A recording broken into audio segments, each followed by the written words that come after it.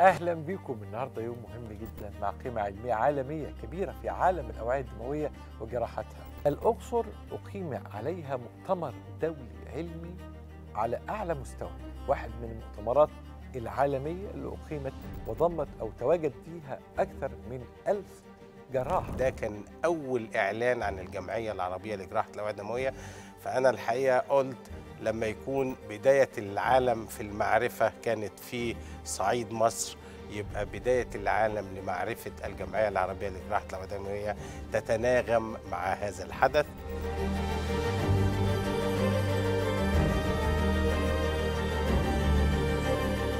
الجوهر لأي مؤتمر هو الجديد، الجديد في كل شيء.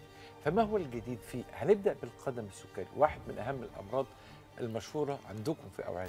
القدم السكري كان السنة دي حاضر وبقوة آه، بالذات آه، المريض إزاي خطوات علاجه إيه؟ الجديد في المريض اللي عنده قرحة ودي مثلا بنقول قرحة القدم السكري من الأشياء الصعبة جدا. أفضل حاجة إنها ما تحصلش. دايما بنقول الوقاية خير من العلاج. الشريان السباتي هو الشريان اللي بيوصل الدم للمخ عن طريق الرقبة وهو شريان طالع من الشريان الأبهر وده المسؤول عن تغذية أو التروية للمخ. أسعدتنا وأسعدت ال- ال- الأسرة الطبية بهذا المؤتمر الناجح الرائع في آه، بقعة ساهمت بشكل كبير جدا هي الأقصر في تنمية السياحة العلاجية بشكل كبير بلا شك. ونتمنى إن شاء الله المؤتمر القادم يكون في مثل هذا النجاح بل أكثر إن شاء الله.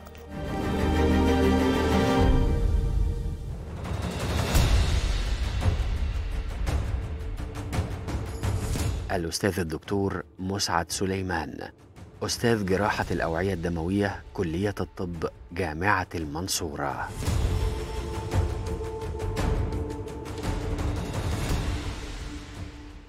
أهلا بكم النهارده يوم مهم جدا مع قيمة علمية عالمية كبيرة في عالم الأوعية الدموية وجراحتها. الحوار النهارده له كمان طابع خاص جدا لأنه حوار عن واحد من المؤتمرات العلمية العالمية اللي أجريت وتمت على أرض مصرية حبيبة هي أرض الأقصر الحبيبة، والأقصر لها معزة كبيرة جدا في قلبي ومعزة في قلوب كل القطاع الطبي بلا شك وكل المصريين. الأقصر أقيم عليها مؤتمر دولي علمي على أعلى مستوى واحد من المؤتمرات العالمية اللي أقيمت وضمت أو تواجد فيها أكثر من ألف جراح ألف طبيب وجراح في من مختلف الجنسيات. وزي ما إحنا شايفين التجمع العلمي ده تجمع نادر جدا وتجمع رائع والحقيقة هو جزء مهم من استراتيجية الدولة اللي نادى بها ر- سيادة الرئيس س- الرئيس عبد الفتاح السيسي في استراتيجية آه، آه، الدعم الكامل للسياحة العلاجية. ضيفي العزيز هو رئيس هذا المؤتمر وهو طبعا صاحب الجهد الأكثر قوة في إنشاء هذه الفكرة العظيمة وهذا المؤتمر الراقي جدا القيمة العلمية والعالمية الكبيرة الأستاذ الدكتور مسعد سليمان أستاذ جراحات الأوعية الدموية الأستاذ بكلية الطب جامعة المنصورة ورئيس مؤتمر مصر لجراحات الأوعية الدموية. أهلا بك يا دكتور. يعني يا باشا. تسلم. الحمد لله على السلامة. الله يسلم ومؤتمر أكثر من رائع. وشيء مشرف للقطاع الطبي كله. ربنا يخليك. لكن هبدأ الأول بسؤال آه، يعني آه، يعني هو سؤال واضح الإجابة فيه بس لازم نفهمه بالتفصيل. لماذا تم اختيار الأقصر كمكان لهذا المؤتمر؟ آه، الحقيقة هو ما تقول ال- الأقصر آه، كاد اختيارها بعد مداولات كثيرة لكن في ثلاث أسباب واضحة آه، جعلت إن إن إحنا نختار الأقصر ضمن عدة اختيارات. على رأسها هو ال- الكثير من ال- الأساتذة الحاضرين في المؤتمر كانوا من آه، خارج مصر كانوا من أوروبا ومن أمريكا. وبالتالي إحنا كنا عاوزين نظهر لهم الصورة. شوفوا جو مصر في الوقت اللي درجات الحرارة عندكم ناقص أربعة عندنا كانت 25 في النهار 17 بالليل. والحمد لله في خلال المؤتمر تحقق فعلا هذا الأمر ليهم إن إن الناس عايشة في نعمة مش واخدة بالها منها. الحاجة التانية هو كان اختيار الأقصر نتيجة ليه آه، إن زي ما كانت الحضارة القديمة هي أول آه، من أطلقت آه، ال- المعرفة وبداية الهيروغليفية كأول لغة آه، كتبت واطلع عليها العالم ده كان تدشين للجمعية العربية لجراحة الأوعية الدموية لأن ده كان أول إعلان عن الجمعية العربية لجراحة الأوعية الدموية. فأنا الحقيقة قلت لما يكون بداية العالم في المعرفة كانت في صعيد مصر يبقى بداية العالم لمعرفة الجمعية العربية لجراحة الأوعية الدموية تتناغم مع هذا الحدث. وبالتالي كانت جميع العوامل بالإضافة إلى الشيء الثالث وهو المجهود اللي قام به آه، فخامة الرئيس في آه، آه، طريق الكباش واللي آه، حظى بإعلام عالمي آه، غير مسبوق والناس كلها سمعت عنه فكان لازم نوري آه، للناس آه، في الغرب وفي الشرق آه، إزاي إن مصر بالمعالم اللي عندها لابد من إن إحنا آه، نظهرها لهم ودي كانت المناسبة الجيدة لاختيارنا للأقصر قبل أن أذهب للسؤال الثاني السائح عندما يكون جراح أو طبيب هو سائح بينقل الصورة بشكل آه، أكبر من أي حد تاني من أي حد تاني. لأن الجراح ده والطبيب لما بيشوف المشاهد الحلوة دي هو ما بيكفش عن الكلام معاها مع زمايله في المستشفى ومع مرضاه ومع تلامذته ومع كل الناس اللي بيقابلهم لأن هو ما عندوش فسحة تفسحها في السنة دي غير الفسحة دي. هو الحقيقة أنا عايز أضيف لحضرتك حاجة إن دول بنعتبرهم القوى الناعمة لمصر. لأن الراجل اللي بيجي عندنا ويشوف في أرضنا كرمنا كمصريين وبيشوف في أرضنا الحضارة اللي ضاربة في آه، جذور التاريخ وبي وبيدور في في المعالم وفي المعابد عن إن إحنا كنا بنتكلم في الطب قبل ما العالم يعرف يعني إيه طب. فبالتالي الصورة دي مش محتاجة لترجمة. هو بيروح يترجمها فدايما بسميها هؤلاء هم القوى الناعمة. فعشان كده ده مش راجل الزائر العابر اللي هو مش هيجي مصر تاني. لا ده هم قبل ما يمشوا هم بيودعوني بيقولوا لي هتقول لنا السنة الجاية انت هتجيبنا فين. وبالتالي إحنا بن- بنقول دلوقتي هي دي الرسالة الواضحة. ده مكسبنا الرائع لبلدنا ولتخصصنا هو إن إحنا الناس دي نستخدم القوى الناعمة بتاعتهم.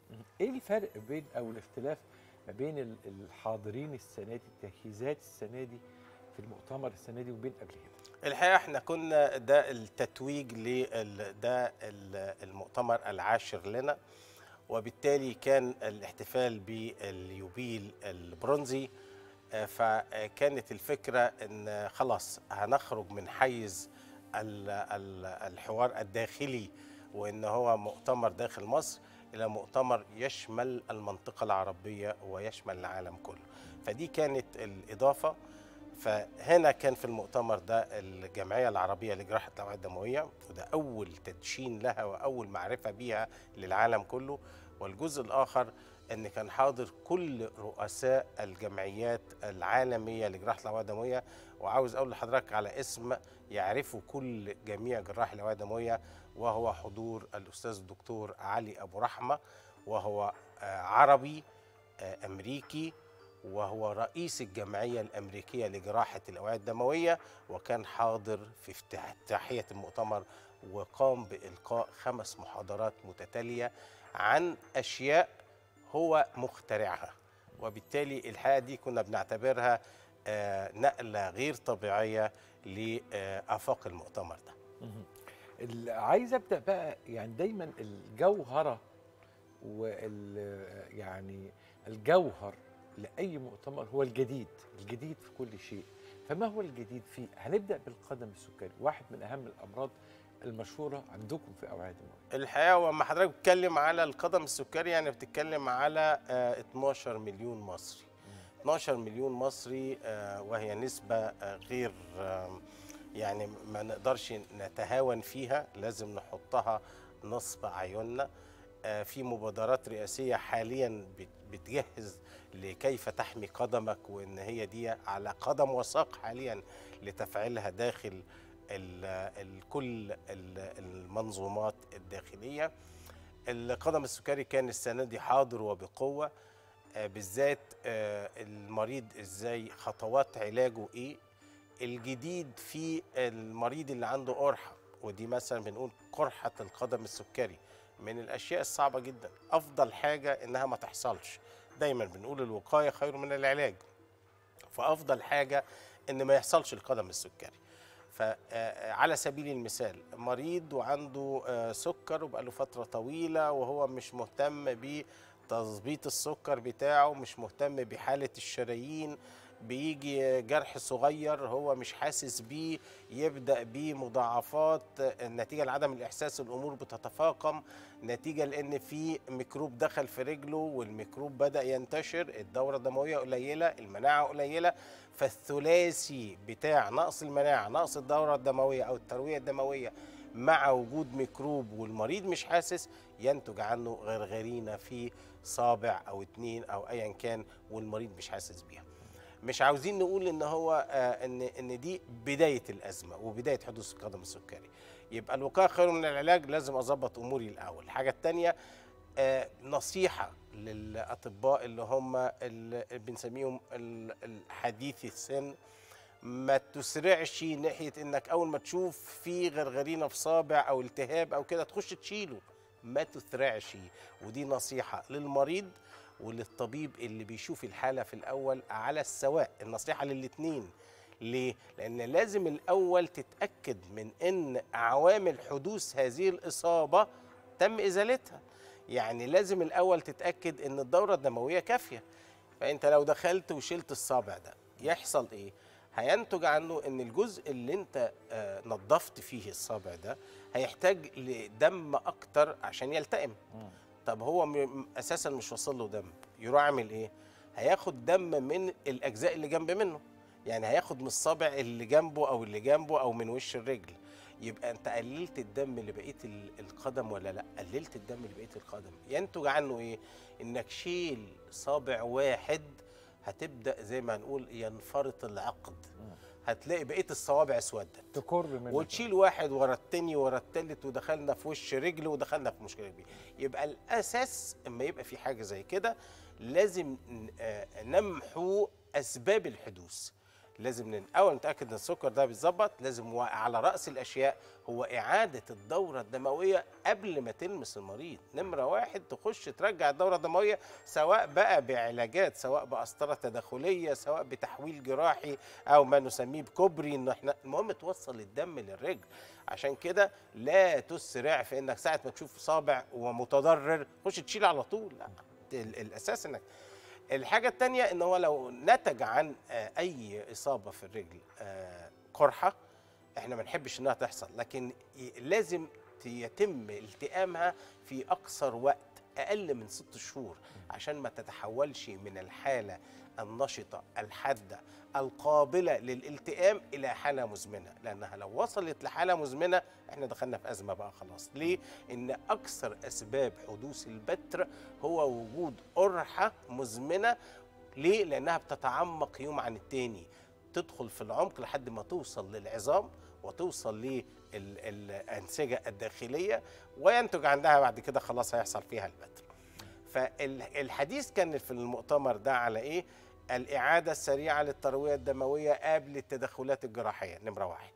نمرة اتنين إن في آه، أشياء حديثة حاليا ممكن تستخدمها لعملية تطبيب القرحة بالوقت بنستخدم آه، نوع من أنواع الهيموجلوبين. الهيموجلوبين العادي اللي موجود جوه الدم ده هو مكلف لكن بعد شوية هيقل الأسعار بتاعته بالاستعمال. لكن الهيموجلوبين عاد بيستخدم كمادة بتح... بنقدر نستخدمها في تطبيب الجرح وينتج عنها ازاله زيادة كمية الأكسجين المتوفر للأنسجة نتيجة كان نقص الدم اللي وصل لها. أنواع حديثة دلوقتي من آه، المواد اللي ب- بتحط على الجروح بتستخدمها مرة كل خمس أيام وبالتالي ما عادش المريض محتاج إنه يغير كل يوم بشرط إن ما يكونش فيه في الجرح أي عدوى. فممكن هيحط الغيار بتاعه مرة واحدة وما يشيلش الغيار إلا بعد خمس أيام. والحقيقة الدراسات في الموضوع ده ماشية على قدم وساق في كل المناحي وفي كل المعامل وفي نتائج هائلة ظهرت في خلال جلساتنا وورش عملنا في المؤتمر ده. ده القدم السكري. تاني توأم الشهرة الشهير جدا الدوالي. الدوالي. اتكلمنا السنة دي عن الدوالي ويبدو إن هو آه آه يعني إيه تعريف الدوالي وواحدة من الأشياء اللي كنا بن- بندرسها وبندرسها طول عمرنا علاج الدوالي بالجراحة. يبدو إن ده قرب يختفي فقربنا إن إحنا هيختفي علاج الدوائي آه العلاج الجراحي للدوالي. وبقت دلوقتي كل المنظومة ماشية في اتجاه آه، العلاج بالتردد الحراري وبالليزر وبالموجات التصادمية وبالكلاكس فكان حاضر جدا في هذا المؤتمر الأساليب الحديثة لعلاج الدوالي بالشق الغير جراحي سواء بالليزر أو بالموجات التصادمية أو بال CLaCS اللي هو استخدام التبريد مع الحقن مع الليزر في منظومة واحدة اسمها ال CLaCS للدوالي السطحية. ده هينقل الدوالي نقلة تانية. خالص. خلاص بقى يعني يبدو إن هو تعريف الجراحة بقت في أقصى الإيه الاختيارات وبقى الوقت ال- الظاهر جدا هو إن آه، العيان بيعمل الشغل بتاعه وينزل لأن كانت الفترة اللي بيقضيها في النقاهة طويلة بعد الجراحة بيقعد له أسبوعين و- وينقطع عن العمل والناس المشغولة تقوم تأجل العملية بتاعتها إنما دلوقتي لا ده هو بنعتبره إيه؟ جراحة اليوم الواحد. يعني هيخش ويعملها على أساس إن هو في في العيادة أو هيعملها في الكلينيك أو هيعملها في المستشفى وبعد أربع ساعات هيمارس حياته بشكل طبيعي جدا ونقدر نقول إن هي حلت آه، مشكلة كبيرة للناس اللي هم المشغولين اللي وقتهم ثمين ال- الليزر هو والاساليب الأخرى زي التبريد هو نوع من الجراحات بس جراحات محدودة التدخل. ما فيش فيها فتح جراحي آه، يعني ما فيش فيه شق للجلد. آه بالظبط. فكله بيتم بحيث إن هو يوصلني لنفس النتيجة من غير ما يبقى المريض لا أنا شلت حاجة من جسمه ولا أنا فتحت في جسمه. في شريان تاني مشهور جدا وده بنهتم بيه جدا بقى في البطنة كمان اللي هو الشريان السباتي. ده الحقيقة الشريان السباتي كان واضح قوي ليه لأن زي ما قلت لحضرتك إن رئيس الجمعية الأمريكية لجراحه الأودمية هو اللي حاطط ما نسميها بال guidelines أو الإرشادات العالمية لعلاج مشاكل الشريان السباتي. عشان للعامة الشريان السباتي هو الشريان اللي بيوصل الدم للمخ عن طريق الرقبة وهو شريان طالع من الشريان الأبهر وده المسؤول عن تغذية أو التروية للمخ. الشريان ده بي- بيصيبه العطب إن هو يحصل فيه تصلب في الجزء منه يقفل أو يضيق الشريان وبعد كده لو الجزء ده ما حصلش فيه التصليح المناسب في الوقت المناسب يبدأ يطلع منه بعض التجلطات الصغيرة تتنقل للمخ وتسبب جلطة. جلطة يعني إيه بقى؟ يعني, يعني يبدأ المريض يحصل له هزال أو ما نسميها بالشلل النصفي أو إن هو يحصل فيه جزء من الوجه يتأثر وبالتالي لابد من علاجه آه، آه، سريعا وده اللي كان ظاهر في آه، هذا المؤتمر إن العلاجات بين العلاج الدوائي في الحالات ال- القليلة ال- ال- الضيق يعني لو أقل من 30 ل 50% يفضل العلاج الدوائي في الحالات اللي زي دي. لو الضيق في الشريان تعدى السبعين في المية ومدي أعراض لابد من العلاج الجراحي والعلاج الجراحي في هذه التوقيت يا إما بالجراحة مباشرة عن طريق الرقبة لكن اللي كان ظاهر قوي السنة دي هو إن التدخلات إن إحنا بنحط دعامات في هذا الشريان والدعامات ممكن نحطها عن طريق الفخذ أو عن طريق الذراع أو عن طريق الرقبة وده كان الأحدث في هذا اللي هو حاجة بنسميها في العالم كله دلوقتي اسمها التيكار. والتيكار لسه ما ظهرش في مصر ولا في المنطقة ال- منطقة الشرق الأوسط لأن هي آه، اختراع آه، أمريكي وحتى الآن لا يتم آه، تغطيته في بالمواطن العادي في أمريكا. ليه؟ لأن هو من التأمين الحاجات. بالظبط. ليه؟ لأن هو بيتم بتقنيه عاليه قوي ومكلفة لكن الحقيقة حلت مشكلة غير طبيعية وإحنا بنستوعب التكنولوجيا دي في الوقت الحالي.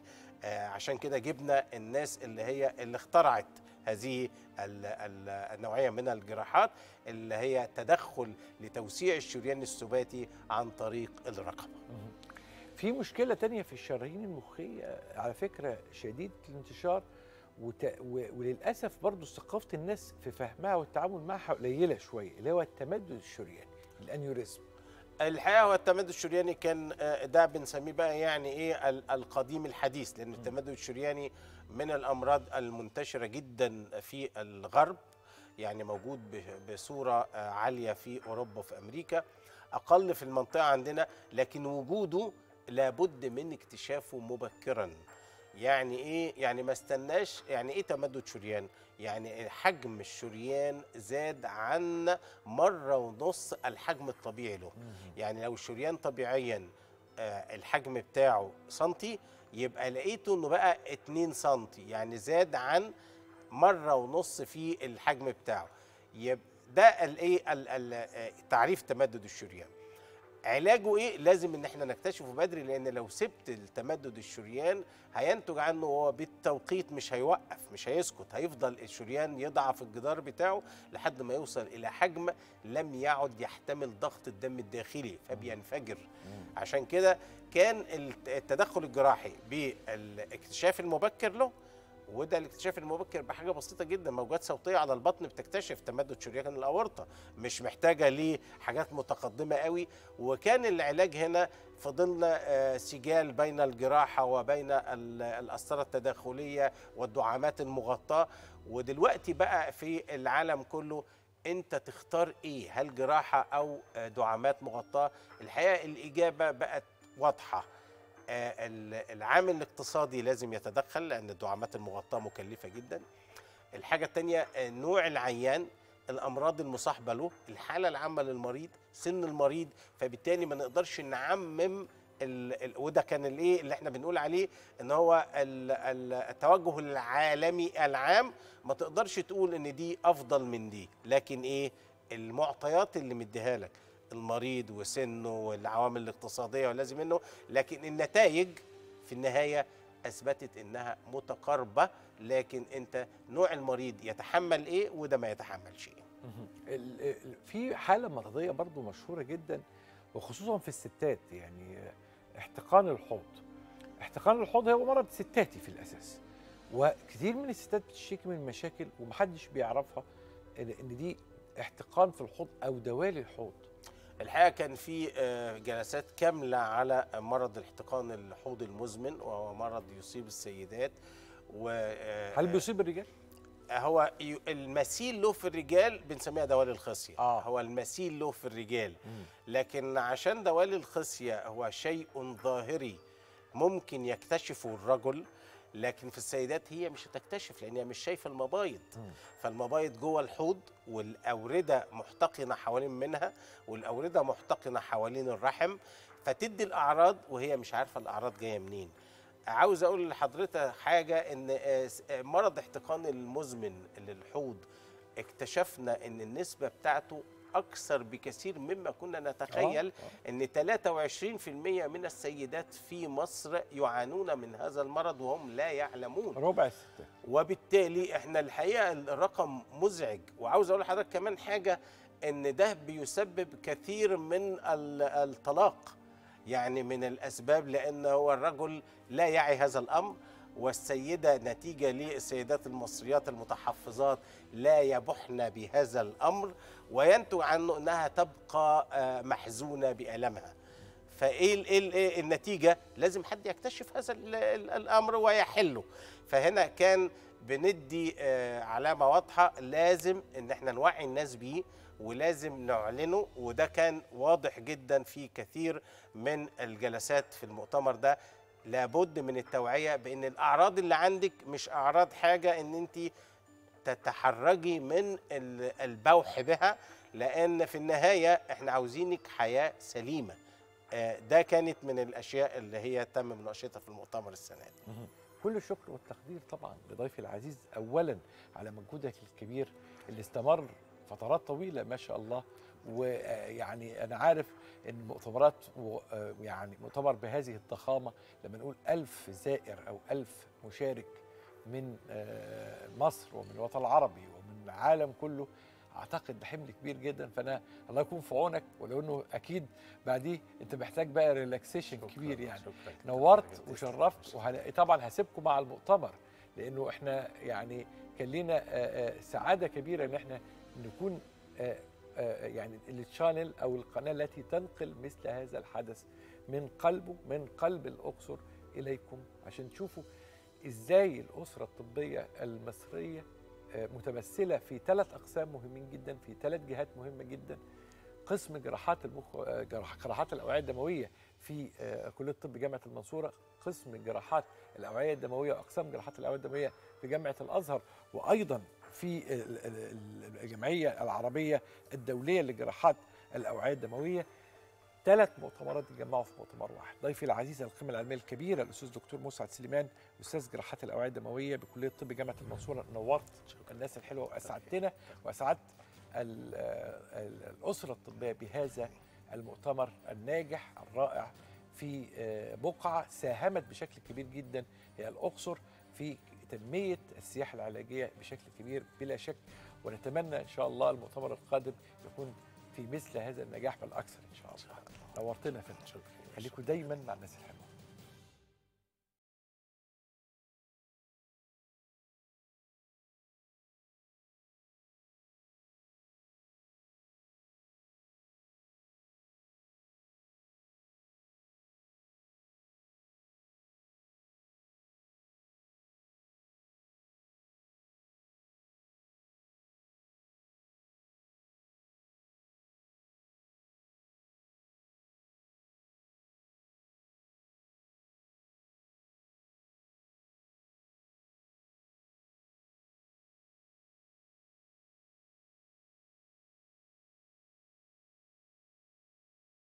Like to thank the board of the Vascular Society as well as Dr. Mossad and the EGVAS 2022 NEVAC, in other words, which we used that term to allow us to be part of this meeting. This is officially not our first BAVS meeting. This is, we are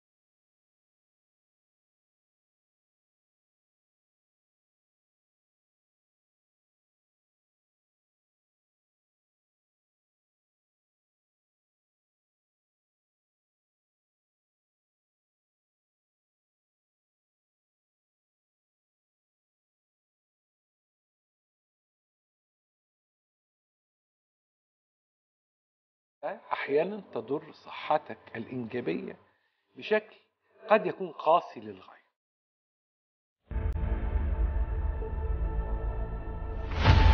طبيب أمراض نساء في عيادته وهتعمل حقن مجهري وتسأله السؤال أنت محتاج الزوج في حاجة؟ لا لا لا لا لا. هو كده كده يوم العملية هناخد منه العينه ده ما اسموش حقن مجهري ده اسمه أي حاجة غير حقن مجهري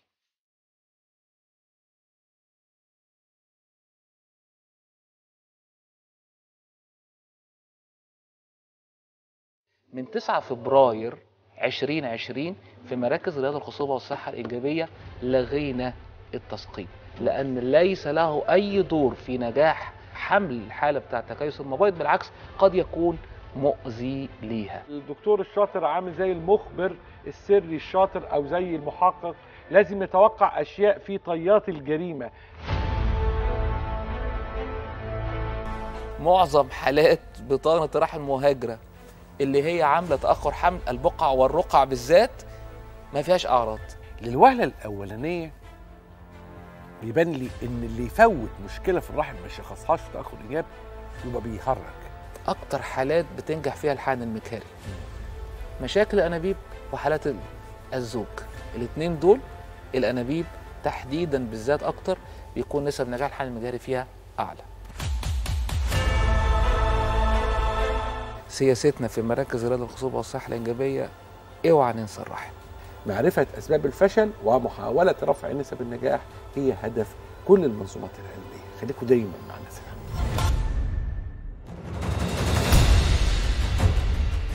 الأستاذ الدكتور هشام الشاعر أستاذ أمراض النساء والتوليد والعقم بكلية طب قصر العيني جامعة القاهرة.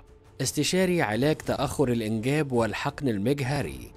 عضو الجمعية الأوروبية للخصوبة والعقم رئيس مجلس إدارة مجموعة مراكز وعيادات الرياض للخصوبة والصحة الإنجابية.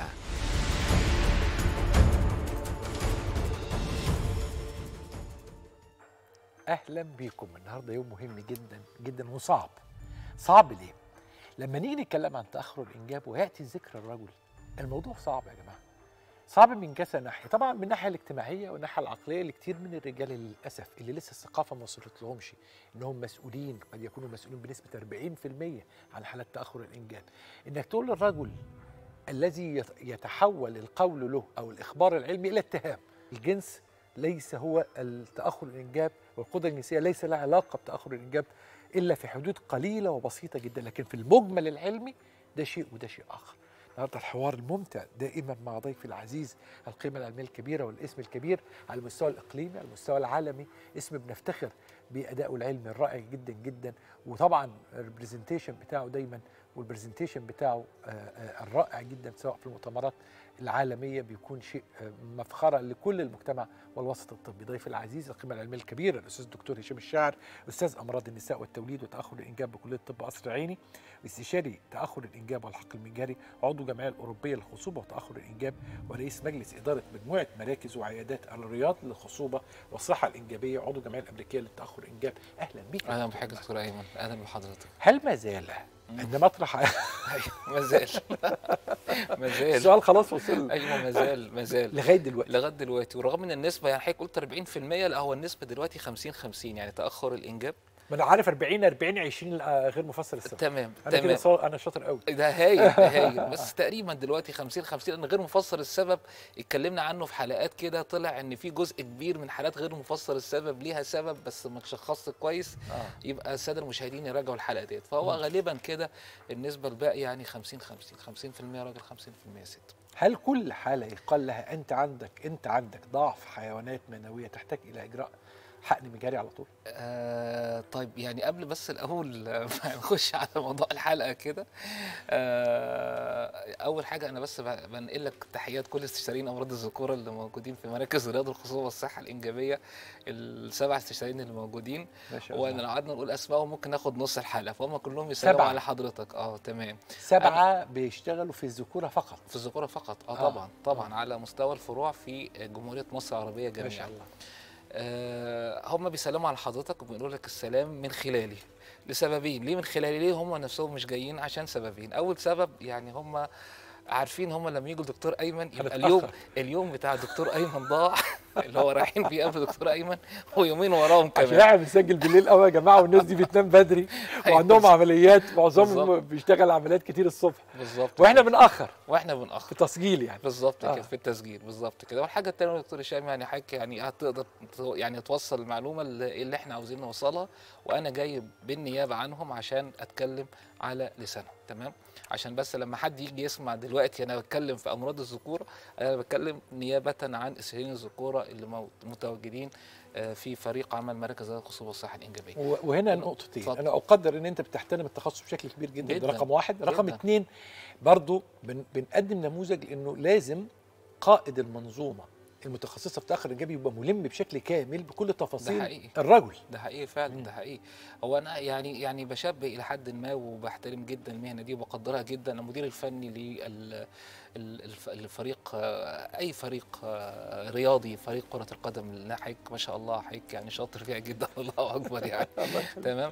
فهو ال- ال- المدير الفني بيبقى يعني آه، عارف تف- التفاصيل إيه والخطط إيه وعارف إمكانيات اللعيبة بتاعته إيه ومين شاطر في إيه فيقدر إن هو مش هقول يوظف يستفيد من إمكانيات هذا المهاري في في الجزئية ديت لكن مهاري آخر يستفيد منه حسب مهارته في جزئية أخرى وهكذا يعني.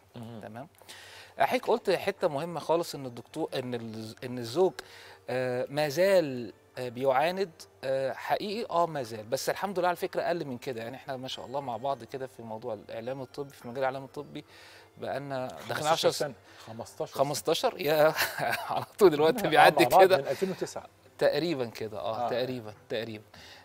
كان ساعتها لا كان معانده ومعافرة ومقاومة غير طبيعية. لا دلوقتي قلت قلت قلت. بس لسه برضه ما زال. وخصو وخصوصا لو كان الزوج مخلف قبل كده. دي بقى بتبقى يعني درجة العند فيها أعلى. اللي هو إيه؟ ده أنا مخلف قبل كده. أنا سليم. روحي شوفي نفسك. على فكرة يعني هقول لك على حاجة. أنا أعذر جدا اللي يقول الجملة دي. لأنه آه. الراجل مش يعني راجل خلف قبل كده من ثلاث سنين. آه. وعنده عيل ثلاث سنين ولا أربع أيوة. سنين. أيوه. لما يجي نقول له أيوه. إيه اللي حصل له في الثلاث سنين دي؟ تمام آه. تمام. اللي حصل له ممكن أسب... حاجات كتيرة التهابات دوالي عدم انتظام في الهرمونات لا قدر الله أورام في المنطقة بتاعة الخصية اللي حصل له ممكن يكون كتير. آه، إحنا النهاردة جايين نلقي الضوء على ال... ال... الراجل و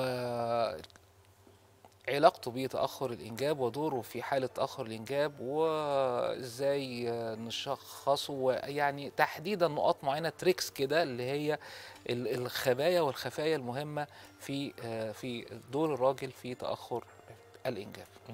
إيه دور الراجل إيه دور الراجل في؟ تريكس أنت عمال تشوقني. عارف الفيلم اللي بيبدأ بالراحة بالراحة آه. بالراحة؟ عايزين ندخل أيوة. في الإثارة tricks. والمتعه هو دايما كده بيبقى فيه في المحاض... في المؤتمرات العالمية الكبيرة كده محاضرة اسمها tips and tricks يعني تكات. بقى- بقى بستناها دي. دي دي تحفة. آه. بقعد. أدور على schedule لغاية أيوة. لما ألاقيها أروح آه، أقعد فيها. آه. آه. فظيعه يعني التكات وال tricks ات بتاعت يعني ده ده كلام انجلش يعني آه، مش آه، مش آه، إحنا اللي آه، بنخترعه يعني في الموضوع بتاعنا ده. إيه الموضوع بتاعنا دوت؟ اللي هو السؤال أول سؤال حضرتك سألته حلو قوي قوي قوي اللي هو هل كل حالات ضعف ال- الرجل ضعف السائل المنوي ضعف السائل المنوي ملوش علاقة بضعف القدرة الجنسية هل كل حالات ضعف السائل المنوي بتحتاج إلى حقن مجاري؟ الإجابة لا وألف لا. مش كل حالات ضعف السائل المنوي تحتاج إلى حقن مجاري. يبقى إحنا عاوزين نطمن الرجالة يا رجالة لو التحليل السائل المنوي بتاعكم طلع مش سليم 100% ما تتخضوش مش كل الحالات بتحتاج إلى حقن مجاري. تمام؟ لكن إحنا رغم إن إحنا نؤكد على المعلومة دي فإحنا بنؤكد على إن تحليل السائل المنوي عشان نضمن إن هو اتعمل صح والنتائج بتاعته فعلا نتائج دقيقة وأقدر أعتمد عليها عشان أبني خطة علاج لازم يتعمل في معمل ذكورة. ومش في مجاله إن إحنا نستفيض ليه الفرق ما بين معامل الذكورة والمعامل العادية؟ مش مجاله دلوقتي بس إحنا لازم نؤكد على هذه المعلومة إن تحليل المنوي يتعمل في معمل ذكور لو طلع طبيعي تماما أنت راجل رائع ما شاء الله عليك. أنت زي الفل. طب لو طلع فيه ضعف بسيط برضه مفيش مشكلة. أنت زي راجل زي الفل ما عندكش أي مشكلة خالص. شوية علاجات والأمور هتتظبط. تمام؟ لكن لو أنت عندك ضعف شديد في تحليل السائل المنوي لا ساعتها هنجرب تجربة علاج. لو الوقت يسمح لو الوقت يسمح مش وقت يسمح بتاع الحلقة. لو الوقت- يسمح بتاعت حالتكم أنتوا كراجل وست. وقت ليه؟ الزوجة. ليه؟ بالظبط وقت الزوجة. الزوجة عندها كام سنة؟ عندها 38 39 سنة؟ يبقى ما عنديش رفاهية الوقت. عندها 22 23 24 25 لحد 30 32 قبل ال 35 عندي رفاهية الوقت. قبل ال 35 عندي رفاهية الوقت. خمسة فوق ال 35 ما عنديش خالص خالص ما عنديش رفاهية الوقت فوق ال 35 سنة. لا انت الراجل حتى لو كان عندك مشكلة بسيطة وزوجتك ما عندهاش رفاهية الوقت يبقى أنا ما فيش مجال إن أنا أستنى على العلاج معاك. طب لو أنت عندك ضعف بسيط ضعف بسيط بس زوجتك عندها حاجة بقت نشوفها كتير قوي اسمها نقص في مخزون المبيض. يبقى ما فيش مجال إن أنا استنى إن العلاج يجيب معاك نتيجة لأن لو استنيت ده هيأثر الوقت هيأثر على المخزون المبيض بتاع زوجتك. تمام؟ يبقى ملخص إجابة السؤال العظيم ده كل حالات ضعف السائل المنوي نلجأ إلى حقن مجهري؟ الإجابة لا. مين الحالات اللي هناخد معاها فترة علاج كورس علاجي ثلاث شهور؟ في ثلاث شهور كمان ولو في عملية دوالي هيستفيد منها لو عملها نعملها له. الرجالة اللي هم عندهم ضعف بسيط في السائل المنوي زوجاتهم مش كبيرات في السن مش فوق ال 35 سنة عندهم مخزون مبيض كويس. فترة الزواج أو فترة تأخر الحمل لا تزيد عن خمس سنين. لو الأربعة دول موجودين تمام؟ يعني إيه فترة تأخر حمل أقل من خمس سنين زوجة صغيرة في السن أقل من 35 سنة مخزون مبيض كويس أنت عندك ضعف بسيط في الحيوانات المنوية هناخد علاج وإن شاء الله الأمور هتتظبط وبمشيئة الله الحمل هيحصل. لو قررنا الرجل لو قرر لو عمل تحليل سائل منوي وقررنا إن هنتعمل له حقن مجهري الراجل ده بيبقى ليل ونهاره قاعد تمام. بيتفرج على التحليل بتاع السائل المنوي عمال بالظبط. يركز كده ويفتح على الإنترنت يشوف آه، آه، العدد مش عارف الحركة اللزوجة صح، شكل صح، السائل المنوي صح. شكل الحيوان المنوي إيه العوامل اللي تؤثر على النجاح؟ صح هايل. دلوقتي الثلاث معايير المهمة لتقييم السائل المنوي اللي هم العدد والحركة والتشوهات تمام؟ الميزة بقى إن العدد والحركة والتشوهات في الحقن المجهري دورهم ضعيف تماما. بمعنى أقصد أقول إيه؟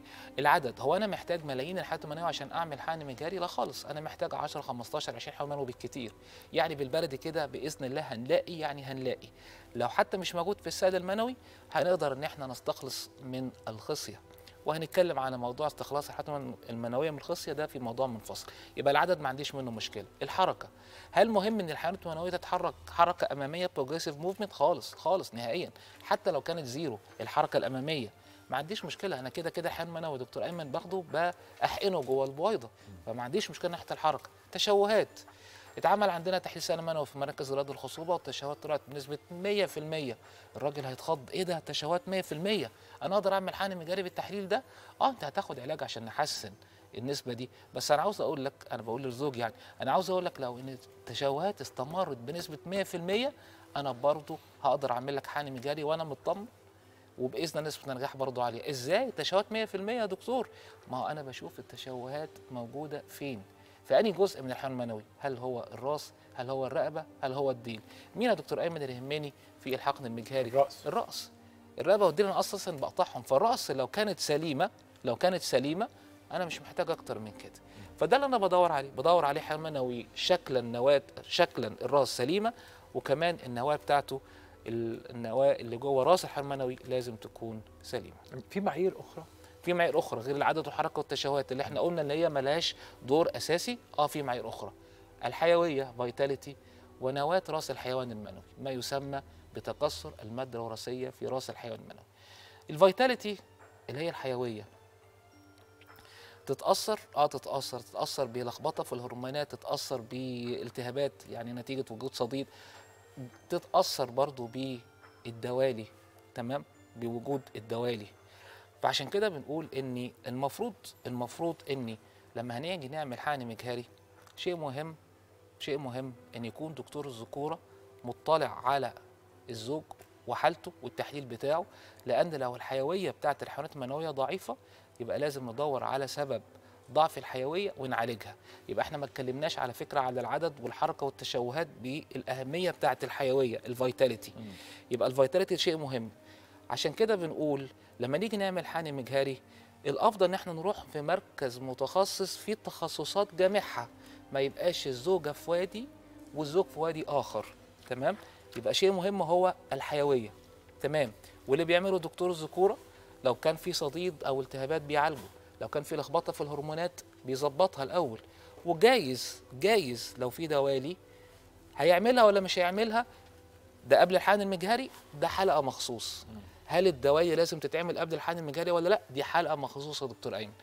ده العامل الأولاني المؤثر المهم اللي هو الح... الحيوية الفيتاليتي. العامل ال- الثاني مهم جدا بنفس الأهمية ألا وهو نواة راس الحيوان المنوي. الحيوان المنوي عبارة عن راس ورقبه وديل النواه بتبقى جوه الراس تبقى حاج- حاجة واحدة سليمة زي الكورة كده. أحيانا بعض الرجال الحيوانات المنوية بتبقى متكسرة. النواة بتاعتها آه أقصد تبقى متكسرة متفتفتة.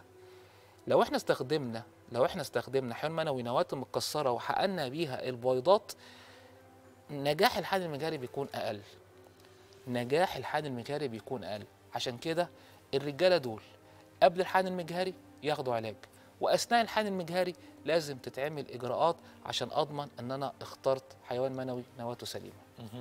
دي أهم المعايير. دي أهم المعايير اللي هم الحيوية وتكسر نواة راس الحيوان المنوي. لو أنا هبعت رسالة لكل رجل عنده تأخر انجاب. هتكون الرسالة دي مضمونها نقاط محددة لازم يحطها في دماغه عشان ما يصابش لا بهلع أو بهروب. تمام. هلع يبقى مبالغ جدا في خوفه والهروب إن هو بقى يسيب الموضوع كله وينسحب. وما يجيش التجارب أو ما يجيش الحقن المجاري في مواعيده وما يتبعش التعليمات. إحنا عاوزين نطمن الرجالة بالعكس هو نسب نجاح الحقن المجهري خصوصا لما يتعمل لأسباب للزوج دي بتبقى أعلى النسب أعلى النسب ده رقم واحد. رقم اتنين مش كل حالات اللي بتعمل اللي عندها ضعف في تحليل السائل المنوي بتعمل حقن مجهري إحنا بنقول حالات الضعف الشديد عدد أقل من 5 مليون حركة أمامية أقل من 5% تشوهات آه، أقل من 96% يحصل حمل بكل سهولة بمشيئة الله. حتى لما نيجي نوصل لمرحلة الحقن المجهري إحنا مع برنامج علاجي قبل الحقن المجهري شخصيا وأثناء الحقن المجهري إجراءات بنعملها جدا مهمة. الإجراءات ديت وارد جدا إن إحنا ما نقربلكش خالص أيها الزوج عشان الرجالة ساعات بتقلق جدا إن إحنا هنقرب من الخصية سواء هناخد حيوان منوي بالإبرة من الخصية. ده إحنا عندنا في في في المراكز الاخصاب عموما وفي مراكز رياض الخصوبة خصوصا تقنيات حديثة أقدر أن أنا أختار حيوان منوي نواته سليمة من غير ما اقرب لخصية الزوج حتى ولو الحيوانات المنوية عنده قليلة جدا جدا جدا. الكلام اللي أنا بقوله ده ابديتد جدا. تاني أقدر في مراكز رياض الخصوبة والصحه الإنجابية أن أنا أختار حيوانات منوية. شكلها سليم ده عادي ده موجود في كل الأماكن. لكن نواتها سليمة في حيوانات منوية عددها قليل جدا.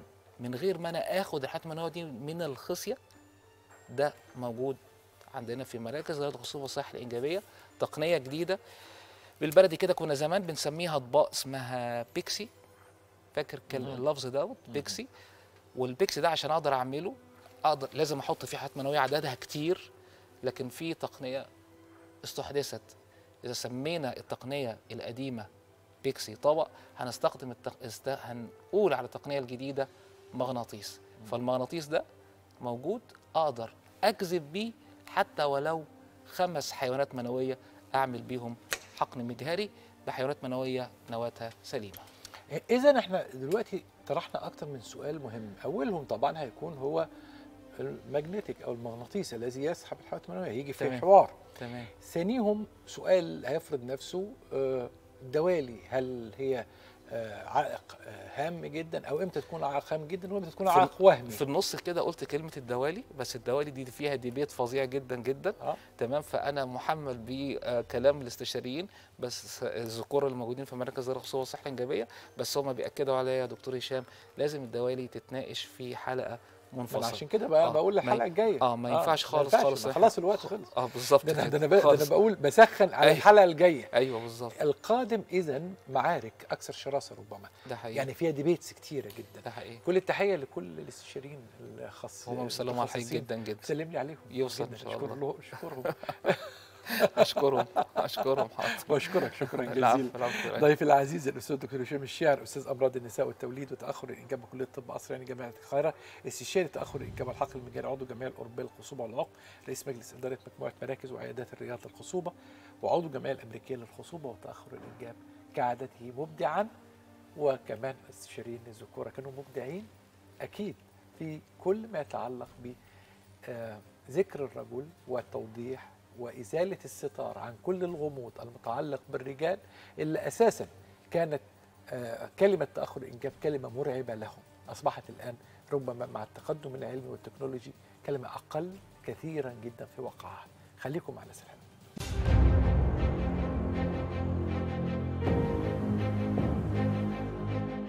الموضوع شديد الأهمية. إيه هو الموضوع؟ موضوع مشاكل المفاصل. المفاصل طبعا آه، وبصفة خاصة الركبتين زي ما حضرتك قلت بقت أزمة كبيرة جدا على مستوى العالم زي ما سيادتك قلت والمصريين بصفة خاصة لأن إحنا عددنا ما شاء الله زاد وعندنا مشاكل آه، ممكن تكون وراثية وممكن risk factors اللي هي العوامل التي تزيد من احتمالات الإصابة بخشونة الركبتين منتشرة جدا في مصر.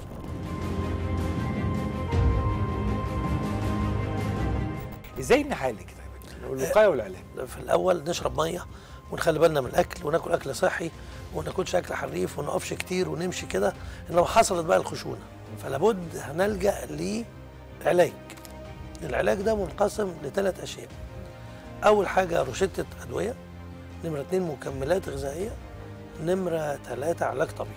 من سنين قليلة بدأ يظهر المكمل الغذائي الكولاجين. مهم جدا ويا ريت نبدأه في مراحل آه، وقائية وليست علاجية. يعني أنا مثلا عندي الدرجة الأولى والثانيه خشونة آخد كولاجين هي- هيحسن أداء الغضروف جدا هنصينه هنحسن أداؤه. ليه مفاصلك ما بتعملهاش صيانة؟ ليه؟ إحنا بنشوف أنا بشوف ناس كتير جدا في سن صغير جدا باين جدا في حركتهم إن الركب مش سليمة. باين. الحركه نفسها فيها مشكلة. الستات بدأت الركب بتاعتهم تبقى فيها مشاكل كبيرة جدا. فارجوكم الصيانه دي مهمة جدا.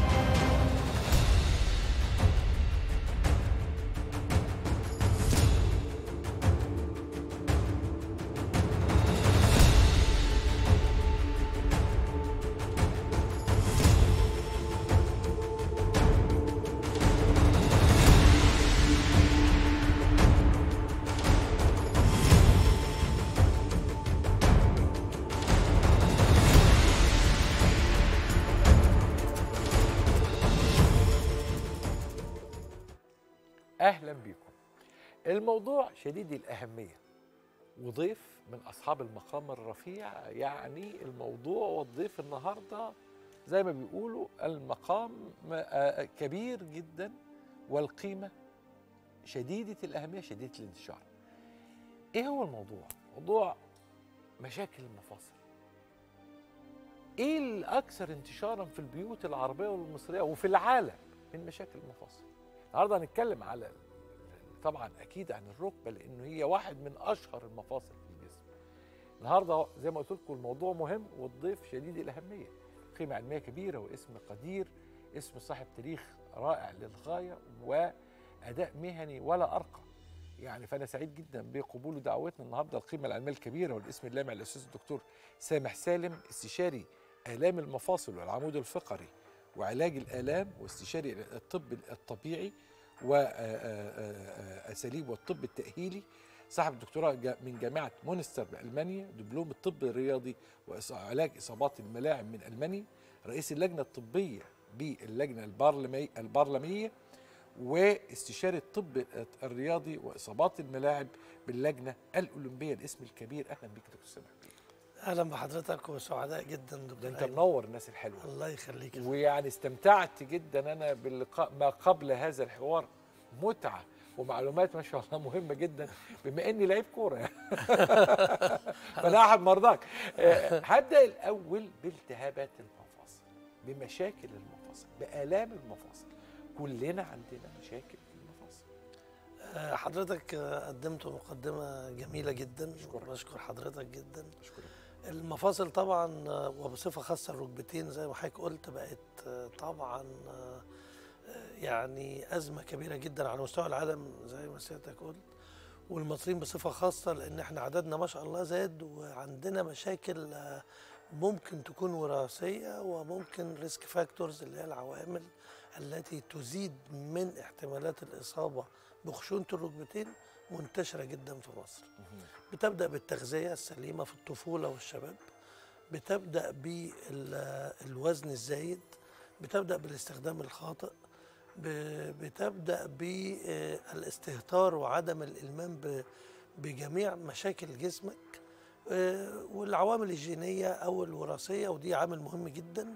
ولكن ممكن أنا أكون آه، هيجي لي مثلا آه، خشونة في المفاصل في سن السبعين ولكن أبدأ في سن الخمسين وقد أتعرض لتغيير مفصل وأنا سني 55 سنة أو أكون عاجزا عن الحركة أو أعالج علاج تحفظي. فطبعا ده شيء مهم جدا ومكلف جدا للشخص ولا الدولة. وبقوا بيعملوا له حسابات على مستوى العالم لأنه آه، في جزء منه كبير جدا اقتصادي لأن لما الشخص يبقى فوق الخمسين ومش قادر يتحرك أدوية لا حصر لها علاج طبيعي ملوش نهاية حقن ركب مفيش نهاية نغير مفصل برقم كبير جدا وهذا مكلف جدا. طب وليه؟ وأنا ممكن أخد إجراءاتي قبل أن يحدث ذلك. يعني أنا بحب طبعا الوقاية خير من العلاج زي ما بيقولوا ولكن في إجراءات الحقيقة ممكن الواحد ياخدها تفرق في حياته جدا جدا. وبعدين في دكاترة يقول لك لا ده حاجة ما بتتصلحش لا بتتصلح. في سن معين ومراحل معينة من الخشونة. اللي هم معروفين الأربع مراحل للخشونة الأولى والثانية والثالثة والرابعة. الرابعة آه، بالإنجليزي بون أوفر بون دي بتبقى صعبة الحقيقة تعويضها. ولكن عندنا ثلاث مراحل ممكن نقف عندها وممكن نتحسن وممكن نرجع درجة لورا.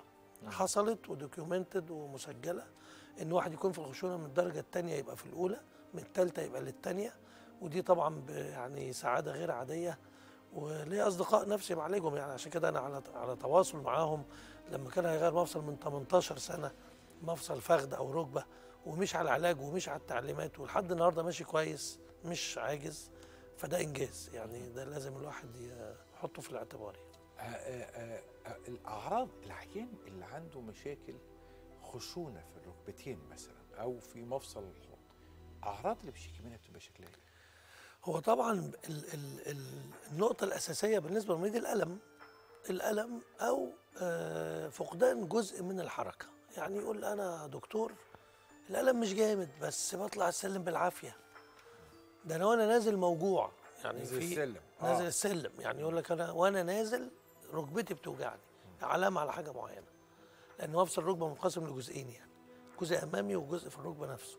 يعني معظم الناس. يعني بتعتقد مفصل الركبه مفصل معقد جدا لأنه آه، آه، في منسكاي أو المفصل الوحيد في الجسم اللي هو فيه غضاريف وفي منسكس أو الغضروف الهلالي اللي بيطلق عليه الغضروف الهلالي الداخلي والخارجي والرباط الصليبي الأمامي والخلفي والأربطة الجانبية ولكن المفصل زي ما إحنا ممكن نكون شايفين في الفيلم كل عظمة بتبقى في نهاية المفصل مغطاه بطبقة غضروفية إلا الركبة كمان فيها مخدتين اللي هو المنسكاي زيادة علشان دول زي مساعدين العربية بيتحملوا آه، ثقل الجسم وحركاته المفاجئة.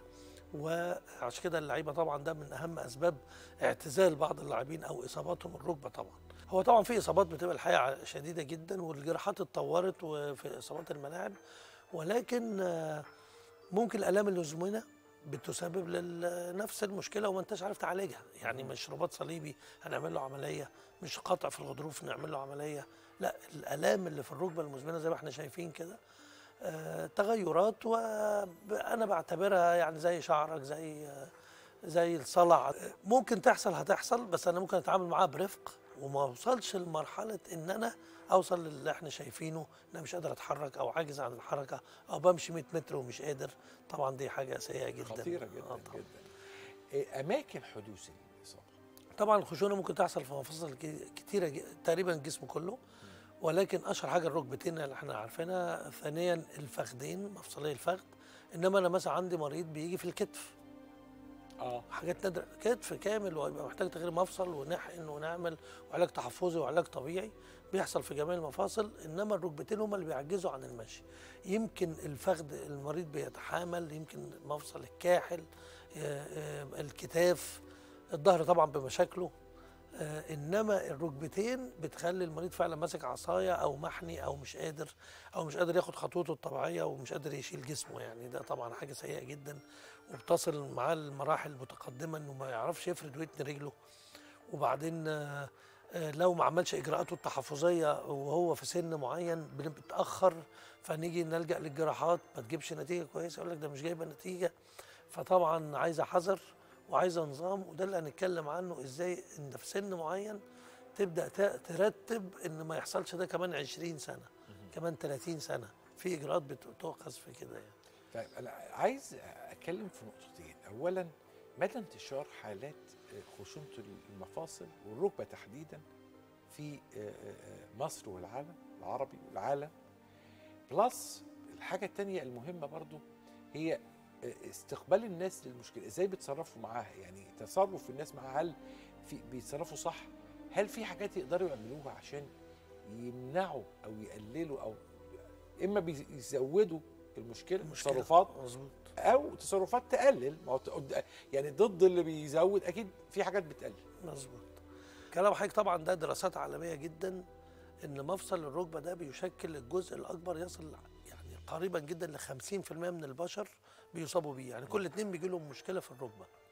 هي كل مشكلتها زي ما إحنا قلنا أهو يمكن في سنة 2040 هنصل إلى آه، 50% زي ما حضرتك قلت إيه الإجراءات اللي بياخدها المريض أول ما يتوجع؟ طبعا يعني أسوأ شيء في الدنيا إن هو يبدأ يستخدم الأدوية اللي هي غير استرويديه أو النون استرويدال اللي هي المسكنات اللي معروف عنها المسكنات. دي بت- بتعمل آثار سيئة جدا لسببين. أول حاجة سيستمك يعني الجسم كله. المعدة والكلى وإحنا عارفين طبعا الأضرار. وفي ناس الحقيقة بيصلوا لفشل كلوي يعني من كتر المسكنات يعني. عشان كده بنبقى حذرين وفي الروشته نقعد نحدد ميعادها و10 أيام بس لا ده يوم بعد يوم لا خلي بالك كده. وبعدين آه، آه، المشكلة بقى الأكبر إن أنا بخفي الألم. هل إخفاء الألم ده حل؟ ده خطر جدا. ربنا عامل الوجع ده ليه؟ نعمة. عشان تقف. أنت بتمشي 100 متر ومش قادر تمشي. ما تاخدش مسكن ما تاخدش دايكلوفيناك علشان يكمل. ما تحسش بوجع طول اليوم. ده أنا طول اليوم تمام. ما هو بعد ال 100 خطوة حصل مشكلة أكبر. بياكل في الغضاريف أكتر. فالوجع ده علشان يوقفك أو نتصرف صح أو تبدأ تاخد إجراءاتك التحفظية علشان الركبة ما تنتهيش. إنما عندي لمبة حمراء في التابلو العربية وبعدين بطفيها وأكمل. إيه المشكلة؟ المشكلة إن العربية العربية تولع تولع ف الموتور خلاص. دايما أقول لهم كده الوجع ده هو اللمبة الحمراء. اللمبة الحمراء تتحرك تتحرك صح أو غلط. إنما تاخد مسكن وتكمل سنة واثنين وعشرة يا إما كلى ومعدة يا إما هيبقى الركبة تدخل في مراحل متقدمة أنت ما خدتش الإجراءات السليمة. إيه الإجراءات السليمة؟ آه، ممكن آخد مسكن لأيام بسيطة بس ادور على المشكلة جاية منين؟ هل أنا وزني زاد؟ هل في سكر أو مشاكل آه، عضوية آه، مأثرة على كفاءة غضاريف؟ هل أنا عضلاتي ضعفت ووزني زاد لدرجة ما بقتش قادر أشيل نفسي؟ لأن المفاصل طبعا العضلات اللي بتشيلها. فدي بقى العوامل اللي إحنا بنشوفها آه، واضحة جدا زيادة الوزن. طبعا الواحد لما بيكبر طبعا بيضعف أكتر. آه، أسباب جينات ووراثيه طبعا دي معروفة إن هي يعني يجري في العائلات ضعف العضلات زي ما قلنا. الضغط زايد على المفاصل ودي نقطة عايز أتكلم فيها مهمة قوي. إن في ناس يقول لك أنا بمشي يا دكتور كل يوم ساعتين. أنا عايز أقول له مين اللي قال لك تمشي ساعتين. إيه إيه الصح في كده يعني؟ في ناس بيعتقدوا إن الرياضة والمشي بيز... يعني بيحافظ على المفاصل والركبتين بصفة خاصة. كلام غير صحيح. زي دكتور القلب مثلا ممكن يقول للمريض أنا عايزك تمشي تمشي كل يوم ساعة. طب وركبك؟ المفاصل بعد 20 دقيقة ممكن تستهلك. إحنا مش بنتكلم على محترفين الرياضة ولا يعني في سن معين. إنما في سن معين أنا أنصح من 20 ل 30 دقيقة في المرة الواحدة. إنما حضرتك ممكن تمشي ثلاث أربع مرات في اليوم ومشية رياضية مش أي مشية. ما هو في مشي تمشية في مريضة تقول لي يا دكتور ده أنا بمشي كل يوم ساعة وكنت زي الفل بتمشي بشنطة شايلها على كتفها بجزمة أو حذاء غير مريح في أرض غير مستوية آه، ما بتشربش مية وبيحصل hydration كافي للمفاصل والغضاريف. طيب شكرا. بيحصل عندنا بعض المشاكل في رمضان بحب أقولها للناس كده ونصيحة يعني. الستات في رمضان يعني يخلص العيد من هنا ويبدأ العيادة تتملي بالسيدات اللي وقفوا في المطبخ أثناء رمضان وهم صايمين فترات بالساعات طويلة عشان العزومة. دي عشان العزومة. دي هيدريشن جفاف في المفاصل والجسم. آه ما بيشربوش مية طبعا صيام. بناكل أكل محترف في رمضان فبيعمل يشد المية من المفاصل أكتر. الوزن زايد وبنقف فترة طويلة وبعدين ساعتين ثلاثة وتقوم طالعة سلم. الغضروف جوه نشف جدا. فأنا لما هستهلكه هو ناشف غير استهلكه وهو طري. الغضروف زي السفنجة فيها مية synovial fluid سائل سينوفي بيمتص. آه، ال- السفنجة بتمتص السائل وبتدي ليونة في المفصل. طب أنا بقى ما عادش فيه السفنجه ناشفة وقمت أنا ماشي عليها هتفرك هتفرك. بالبلدي يعني. فهيبدأ يحصل هفركها. هفركها. ده بالبلدي كده يعني. إحنا برضو نحب نوصل للناس. ما هو لازم الناس تفهم قيمة المية. تفهم. إحنا تلتنا مية. آه طبعا. تلت البني آدم مية. طبعا. آه.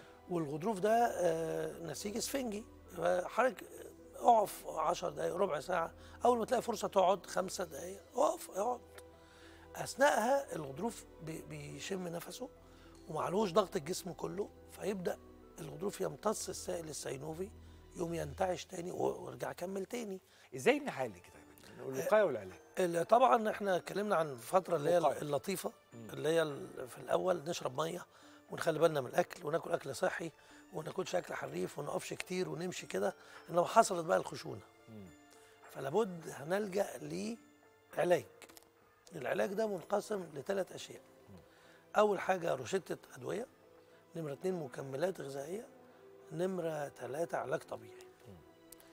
آه، برضو آه، نتكلم عن حاجة حاجة. الأدوية طبعا لابد نبعد عن الأدوية اللي هي آه، الخطيرة يعني اللي هي بتأثر على في بقى حاجات زي ال- اللي هو البارستامول وال- ال- يقال يعني في في السوق له اسم يعني تجاري معين. ده فعلا كويس بس هو ما بيسكنش أول المريض ما بقاش مقتنع بيه. وبعدين آه، هيتحكم بقى في وزنه. ده برضو لسه دي إجراءات آه، تحفظية وعلاج طبيعي. ويعمل تمرين لتقوية عضلات رجليه عشان تشيله شوية. وبعدين بقى في مريض بقى يتحسن على الحاجة السخنة وحاجة على الحاجة الساقعة. دي حاجة مهمة نتكلم فيها دقيقة واحدة. لو أنا عندي ارتشاح في الركبة والركبه ملتهبه جدا أحط كمادات سخنة إزاي؟ غلط. لو أنا ركبتي آه تعبانة وخشونة وتعبان وبس مفيش ارتشاح مفيش التهاب حاد مفيش سخونة مفيش ورم مفيش انتفاخ ممكن أعمل كمادات دافية وكده. فالمريض لازم يبقى حذر. آه، المريض بيجي لنا أحيانا بيبقى عنده ارتشاح وعامل مية سخنة. يقوم يحصل إيه؟ بيزيد يزيد. يقوم يحصل إيه؟ ظهر الركبة من ورا Baker cyst أو كيس المية خلف الركبة. يقول لك حطيت مية سخنة دفا يعني الدش السخن فتحته على رجلي نص ساعة. الدم بيزيد زيادة. ال flow بتاع ال blood بيزيد. طيب يوم دخلنا في إيه؟ نخش في جلطة. جلطة. DVT على طول. مم. فالمريض يدخل نفسه في مشكلة كبيرة جدا. فدايما المريض جلطة في الوريد. في الوريد. آه في الوريد بتاع. رجله. هيجي تلاقي آه، سمانة رجله محجرة. آه، رجله خطر جدا. وحصلت كتير جدا طبعا. فلازم المريض يبقى حذر من السخن والساقع لازم يبقى عارف هو بيعمل إيه عشان إيه. لو في ورم في الرجل إذا والتهاب لازم مكمدات ميه كمادات تلج مثلا من 10 دقائق لتلت ساعة وكده. زي ما بيحصل في الماتشات. زي الماتشات بالظبط. آه بيطلع على طول يجيبوا له الكيس كيس تلج ويلفوها و- ويعمل ضغط وكده ويرفع رجله ويريح والحاجات اللي إحنا عليها. نيجي بقى للمكملات الغذائية والحقيقة ال- ال- ال- السنين الأخيرة. ظهر منتج اللي هو ال- اللي هو الكولاجين الطبيعي بتاع الجسم. بدأ يعني يحصل طفرة. والحقيقة أول ما بدأوا الألمان إن هم بدأوا يعملوا تايب 2 كولاجين اللي هو بيمثل حوالي من 25 ل 35% من بروتين الجسم كله. وده داخل في تركيب الغضاريف طبعا وده كان منسي الحقيقة جدا منسي سنين يعني. يمكن من سنين قليلة بدأ يظهر المكمل الغذائي الكولاجين. مهم جدا ويا ريت نبدأه في مراحل آه وقائية وليست علاجية. يعني أنا مثلا عندي الدرجة الأولى والثانيه خشونة آخد كولاجين هي- هيحسن أداء الغضروف جدا. هنصينه هنحسن اداؤه آه، حتى أنت لما تست وفي العمود الفقري كمان بيدخل في تكوين الغضروف. أي مفاصل. آه. بالظبط. آه. فالغضروف ده لو ناشف وأنا وطيت غلط هيفرقع هيعمل لي إنزلاق غضروفي وندخل في القصة بقى. فالافضل إن حضرتك تغذيه وتدربه وتصينه علشان ما توصلش لمرحلة الخشونة أو العجز في مفصل ال- الركبة أو في الظهر. آه، فالكولاجين ده الحقيقة الحقيقة اختراع جميل وجاب نتائج رائعة جدا بالإضافة للمكملات الغذائية الأخرى. في مكملات منسية أو متجاهلة؟ مغنيسيوم مثلا؟ هو طبعا آه، يعني إحنا عندنا آه، منتج آه، ما شاء الله كويس جدا اللي هو الكالوجينا. ده فيه المغنيسيوم وفيه الكالسيوم ال- اللي هو الكولاجين بنسبة حوالي آه، آه، خم- آه، 7500 مللي جرام. وده طبعا مضاد أكسدة و- وجميل. المغنيسيوم ده مهم جدا للغضاريف وللعضلات كمان عشان ال cramps لأن بيجي ساعات cramp ات وحاجات زي كده. وطبعا ده بقى آه، موجود برضو في بعض الأكل طبعا والأكل الصحي زي الأسماك والخضروات وال- والمكسرات وال- والمكونات اللي بتساعد في تكوين الغضاريف زي فيتامين سي كمان الكولاجين والمغنيسيوم والكالسيوم وفيتامين سي والمركبات الرئيسية للغضاريف فلما حضرتك بتاخده برضو الحقيقة بيفرق جدا مع المرضى ومع تقوية عضلات مع استخدام حرارة أو برودة مظبوط علاج طبيعي كل ده بيجيب نتائج ملموسة ما لم نكن وصلنا لمرحلة متأخرة جدا من الخشونة. قد ده ما يوصلناش لنتيجة مرضية. آه الم- المراحل المتقدمة جدا دي ده ده اتجاه آخر جراحه بقى. في حقن بقى آه، مفاصل. مفاصل أو جراحات وحسب حالته الصحية لو حالته الصحيه تسمح وضهره كويس يغير مفاصل طبعا. آه. آه برضه غير مفاصل له سن معين عشان برضه عملية مش بسيطة. آه بنفضل من 55 ل 65 سنة يكون صحته كويسة. في ناس بتعتقد برضه إن تغيير المفاصل ده حل جذري بعد ما يوصل لسن أو خشونة متقدمة وما عادش قادر يشيل نفسه.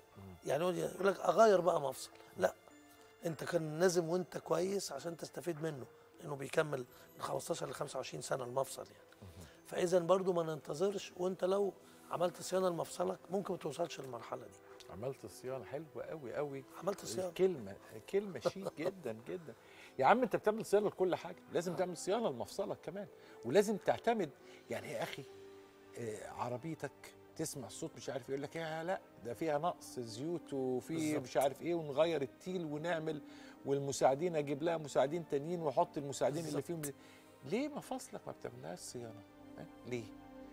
إحنا بنشوف أنا بشوف ناس كتير جدا في سن صغير جدا باين جدا في حركتهم إن الركب مش سليمة. باين. الحركة نفسها فيها مشكلة. الستات بدأت الركب بتاعتهم تبقى فيها مشاكل كبيرة جدا. فأرجوكم الصيانة دي مهمة جدا. ضيفي العزيز نورت وشرفت وأبدعت. أنا سعداء جدا وأنا سعداء بكلمة صيانة عشان دايما بستخدمها فلقيت حد ي- لا يفهمني. أنا باشا أنا أنا الصيانة دي كلمة شيك جدا. آه يعني maintenance آه maintenance هي العربية زي ما حضرتك قلت بتروح بتصينها. أنا ودي حديد. آه أصينه. ودي حديد. آه. حديد وبنصونه وما بنصونش جسمنا. ضيفي العزيز القيمة العلمية الكبيرة الأستاذ الدكتور سامح سالم استشاري آلام المفاصل والعمود الفقري وعلاج الألم استشاري الطب الطبيعي والتأهيل صاحب دكتوراه من جامعة مونستر الألمانية والدبلوم الطب الرياضي وإصابات الملاعب من ألمانيا رئيس اللجنة الطبية باللجنة البرلمانية والاستشاري الطب الرياضي وإصابات الملاعب باللجنة الأولمبية. نورت الناس الحلوة وننتظر لقاءات مهمة جدا إن شاء الله. عشان اطمن على على هنطمن وإصاباتي. هنطمن حضرتك وطمن مصر كلها إن شاء الله. يا باشا مصر هتطمن. أنا كمان. نورتنا يا دكتور. خليكم مع الناس. الحلوة.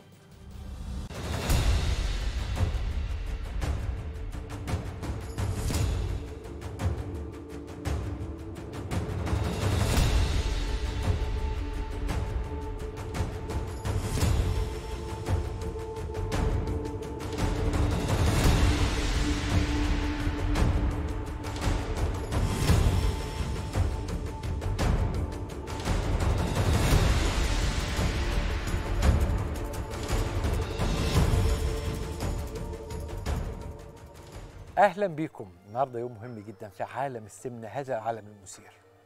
مريض السمنة يا جماعة يومه وحياته يعني فيها الكثير جدا من الإحباطات فيها الكثير جدا من العزلة أحيانا حتى لو بان إن هو له اصحاب و لكن هي عزلة. لو إحنا شفنا نموذج كده لكتير من مرضى السمنة. وطبعا لو إنتوا خدتوا بالكم تعبيرات وشه كلها هو ماشي على غير هدى ما تحسش إن هو رايح مكان هو ماشي وخلاص. وهو ده بالنسبة له المشي بتاعه. في ناس فاكرة إن المشي بتاع السوبر ماركت وبتاع ال- ال stores والمشي اللي هو وأنا مثلا رايح مول مش عارف إيه أتمشى كده أنا بخس. ما بيخسسش ولا جرام المشي ده. المشي اللي بيخسس ده مشي تاني مشي سريع جدا لازم تعرق فيه ضربات قلبك تزيد. وطبعا بالنسبة لمريض السمنة المفرطة القصة ينوت عليها يعني محاذير. فخلينا نقرب من مريض السمنة بشكل دقيق ونفهمه. هذا المريض الحقيقي اللي للأسف مظلوم يبان طبيعي ويبان بيضحك ويبان له اصحاب لكن أنا بقول لكم هو في عزلة شديدة جدا. لازم يكون قلبنا عليه. لازم نحط نحطه في عينينا وعلى دماغنا. وأوعى حد يتنمر بمريض السمنة. أوعى حد يتنمر. عليه إحنا بنوريكم خطورة الأمور. لكن تتنمر على حد ما تبقاش مؤدب. خالص. التنمر ده قمة قلة الأدب. لكن تعالوا نسمع العلم النهارده بدقة شديدة جدا من واحد من نجوم عالم جراحات السمنة بيسعدني الحوار معه دائما وبيبدأ دائما في شرحه وتفصيله والطرح ال- ساعات يكون آه، في الدقة بدقته آه، تحس إنه مجسم كأنك عايش فعلا مع المريض. وكمان كتير جدا بيتعرض إلى الجوانب النفسية والاجتماعية لمرضى السمنة بشكل دقيق. ضيف العزيز هو القيمه العلمية المتميزة والاسم اللامع في هذا المجال الأستاذ الدكتور كريم صبري أستاذ جراحات السمنة والمناظير الأستاذ بكلية الطب جامعة عين شمس مدير وحدة جراحات السمنة بمستشفى وادي النيل زميل كلية الجراحين الملكية بإنجلترا عضو كلية الجراحين الأمريكية وصاحب أعلى تصنيف جودة دولي في جراحات السمنة. ضيفي العزيز أهلا بيك يا دكتور أهلا. وسهلا. أهلا وسهلا. قبل ما أبدأ أنا عايز أ- أ- أ- يعني أرسل تحية خاصة لجامعة عين شمس وقسم جراحات السمنة في جامعة عين شمس على الجهد الكبير اللي أنتم بتعملوه.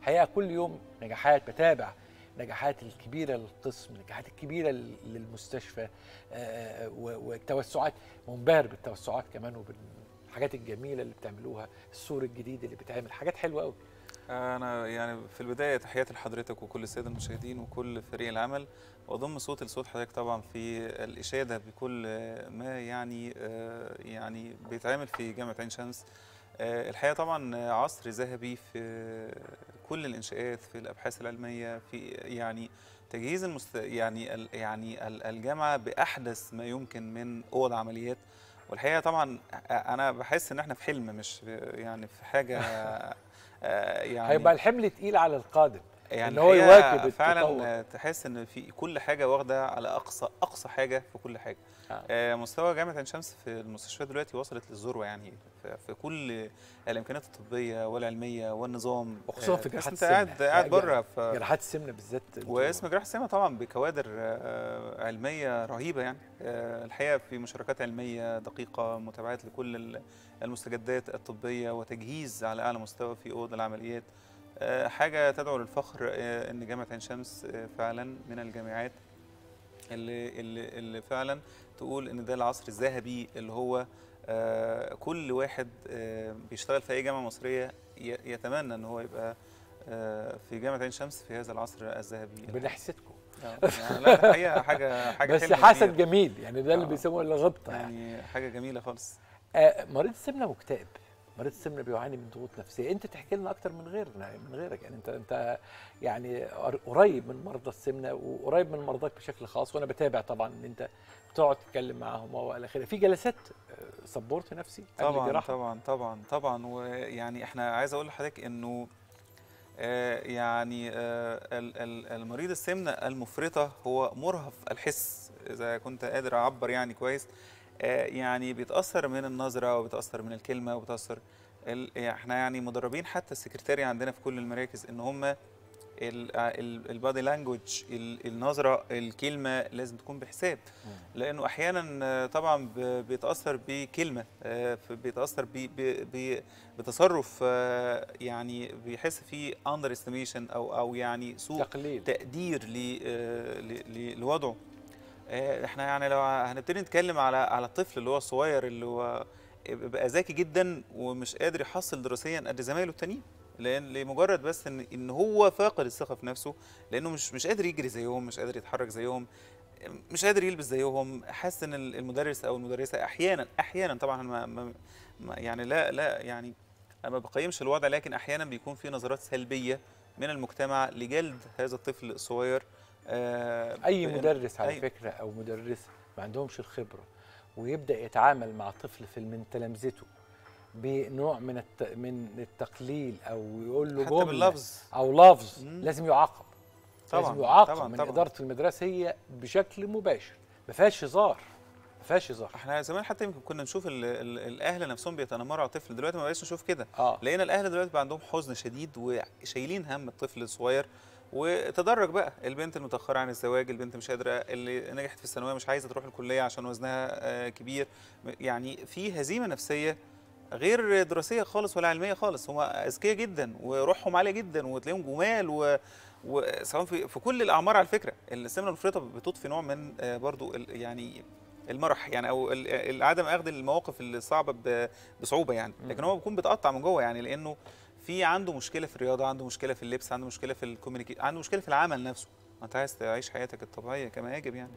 فالسمنه المفرطة إحنا يعني طبعا جلد ال- الناس المصابة بالسمنه المفرطة أنا يعني لازم نعرف إن ده مرض chronic disease يعني ده مش حاجة ترفيهية ولا ولا هو. ناتج عن زيادة الأكل يعني. هو الجسم آه، بيدفع الإنسان المريض بالسمنة إلى استهلاك أنواع معينة من الأكل ترضي آه، شغف و- وشراهة الجسم لهذه الأنواع ال state of hyperinsulinemia أو ال insulin resistance أو يعني هو عايز ياكل أكل آه، فيه طاقة عالية. هو ما بيدورش على الأكل الصحي خالص. هو مش ده اللي هيكفيه الخضار الجسم محتاج ل calories آه، عالية وبالتالي إحنا جزء من ال- ال- المريض اللي مصاب بالسمنة وهتلاقي جزء منه وراثي كتير. في في في معظم العيانين بتلاقي أم أو أب أو أسرة. أنت بتجلد الطفل ده ليه يعني؟ أو تجلد البنت الصغيرة دي ليه؟ ما هو ده ده سمنة وراثية جينات. هي مؤهلة لاستقبال وتخزين آه، أقل كمية من الأكل. فلا يجلد هو ده مرض يعني. ويمكن التخلص منه بصورة سهلة جدا ما, فيهاش مشكلة. فطبعا آه، آه، بتظهر الوضع ده في صورة اكتئاب. عيانين كتيرة جدا جدا. بيكون عنده سمنه مفرطه وماشي على antidepressant مشكلة ال antidepressant بتزود الوزن. بتفتح الشهية جدا. بتفتح الشهية جدا و- وبتقلل الحرق مضادات جدا. اكتئاب يعني مضادات الاكتئاب. يا جماعة بتزود الوزن بتزود الوزن. فأنت بتبقى يعني في في يعني طبعا بيبقى سمنه مفرطة مرضية وماشي على أدوية اكتئاب آه، بتبقى يقدرش يوقفها. ما يقدرش يوقفها. بي والله معظمهم بيوقفها بعد إنقاص الوزن. بي بيبقى عنده self satisfaction وبينزل وزنه وتلاقي الأدوية قلت آه، خالص وابتدى إن هو يتصور ويحط صور على الفيسبوك على ال- ال- الإنستجرام هتلاقي يعني تواصل مع المجتمع كما يجب. دي آه، ثقة في النفس يبتدي إن هو يتعافى بصورة سريعة جدا وما بيتطلبش ان هو ياخد علاج ما بعد آه، ذلك. أمراض كتيرة بسبب آه، تأخر سن الإنجاب تأخر الزواج أصلا عموما عدم الحصول على وظائف. هتلاقي عدم يعني ال- ال- ال- الفشل الدراسي أو عدم مواجهه يعني المجتمع في الصورة اللي إحنا موجودين فيها دي كلها أسباب قد تؤدي إلى آه، الهزيمة النفسية والاكتئاب بصورة آه، واضحة جدا. يمكن علاجها بإنقاص الوزن. في فيلم مشهور قوي اسمه ذا اكولايزر أو الموازن آه، لل يعني للمبدع للمبدع دانزيال واشنطن. فكان في الفيلم هو معاه آه، آه، زميل له في العمل المفروض إنه وزنه زايد وهيتعين أمن. فهم مش عندهم اشتراطات إن الأمن لازم وزنه يبقى كذا. شوف المعاملة الجيدة جدا من زميل لزميله إزاي بيقول له لا أنت لازم تخس إزاي تقل ألو... هو وزنه زيادة بسيطة مش سمنة مفرطة يعني. فيعني كانت أنا افتكرت المشهد بتاع السبورت النفسي الدعم النفسي وإزاي العمل. أنت لما قلت حكاية العمل ما في شغل معين يترفض المريض السمنة بسببه. آه بنشوفها كتير ومش لازم توصل يعني أنت يعني 80 كيلو أنت بقيت 90 كيلو أنت خلاص كده. يعني قصدي في بعض الوظائف آه، يعني اللي بتحتاج يعني آه، يعني المظهر أو لو عايز يشتغل طيار طبعاً. أو مضيف الطيران أو أو طبعاً. طبعا أو ضابط شرطة أو ضابط آه، حربية لازم وزنه يبقى كويس. أنا يعني مش عايز أخصص وظائف بعينها لكن هو في بعض الوظائف إذا يعني تعدى الوزن ال- معين خلاص أنت يعني غير صالح للعمل. هتترفد يعني ما هو ده السؤال. فإنقاص الوزن في كل الحاجات لازم. آه طبعا. ويعني الوظائف العلمية الوظائف دي حاجة مهمة جدا.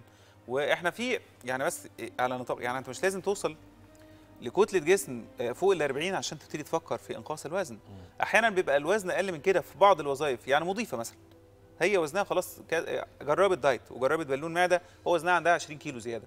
أنا لا أدعو إن إحنا يبقى عندنا 20 كيلو فأعمل عملية تكميم بس برضو إحنا يعني أحيانا في بعض الكتل اللي بتبقى بدل ما سنك 32 30 32 في بعض الوظائف الحرجة آه انت هتعمل له إيه؟ ما هو راكب بالونه مش نافع معاه وهيترفد من شغله.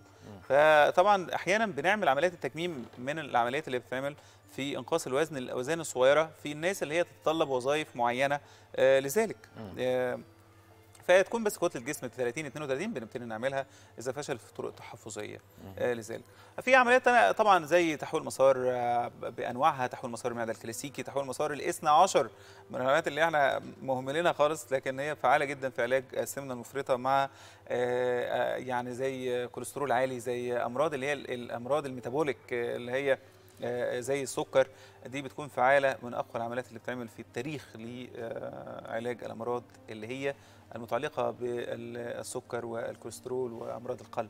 آه، اللي عايز أقوله إنه إنقاص الوزن هو علاج جذري للاضطرابات النفسية آه، المصاحبة للسمنة المفرطة لأن من سببها السمنة المفرطة بتحبس الإنسان جواها بت- بتخليه في في مود آه، مهزوم طول الوقت مش قادر يواجه المجتمع لأنه محبوس طول الوقت بمجرد ان تشيل عليك بس ال ال ال ال ال ال الهالو بتاع أو أو المشاكل بتاعت السمنة المفرطة انت بتبقى انسان طبيعي جدا تقدر تواجه المجتمع بكل ارتياحية سواء اجتماعيا آه، أو سواء آه، عمليا في شغلك أو سواء رياضيا كحياة عامة بتقدر تواصل المجتمع بكل آه، يعني بساطة وكل يعني ارتياحية.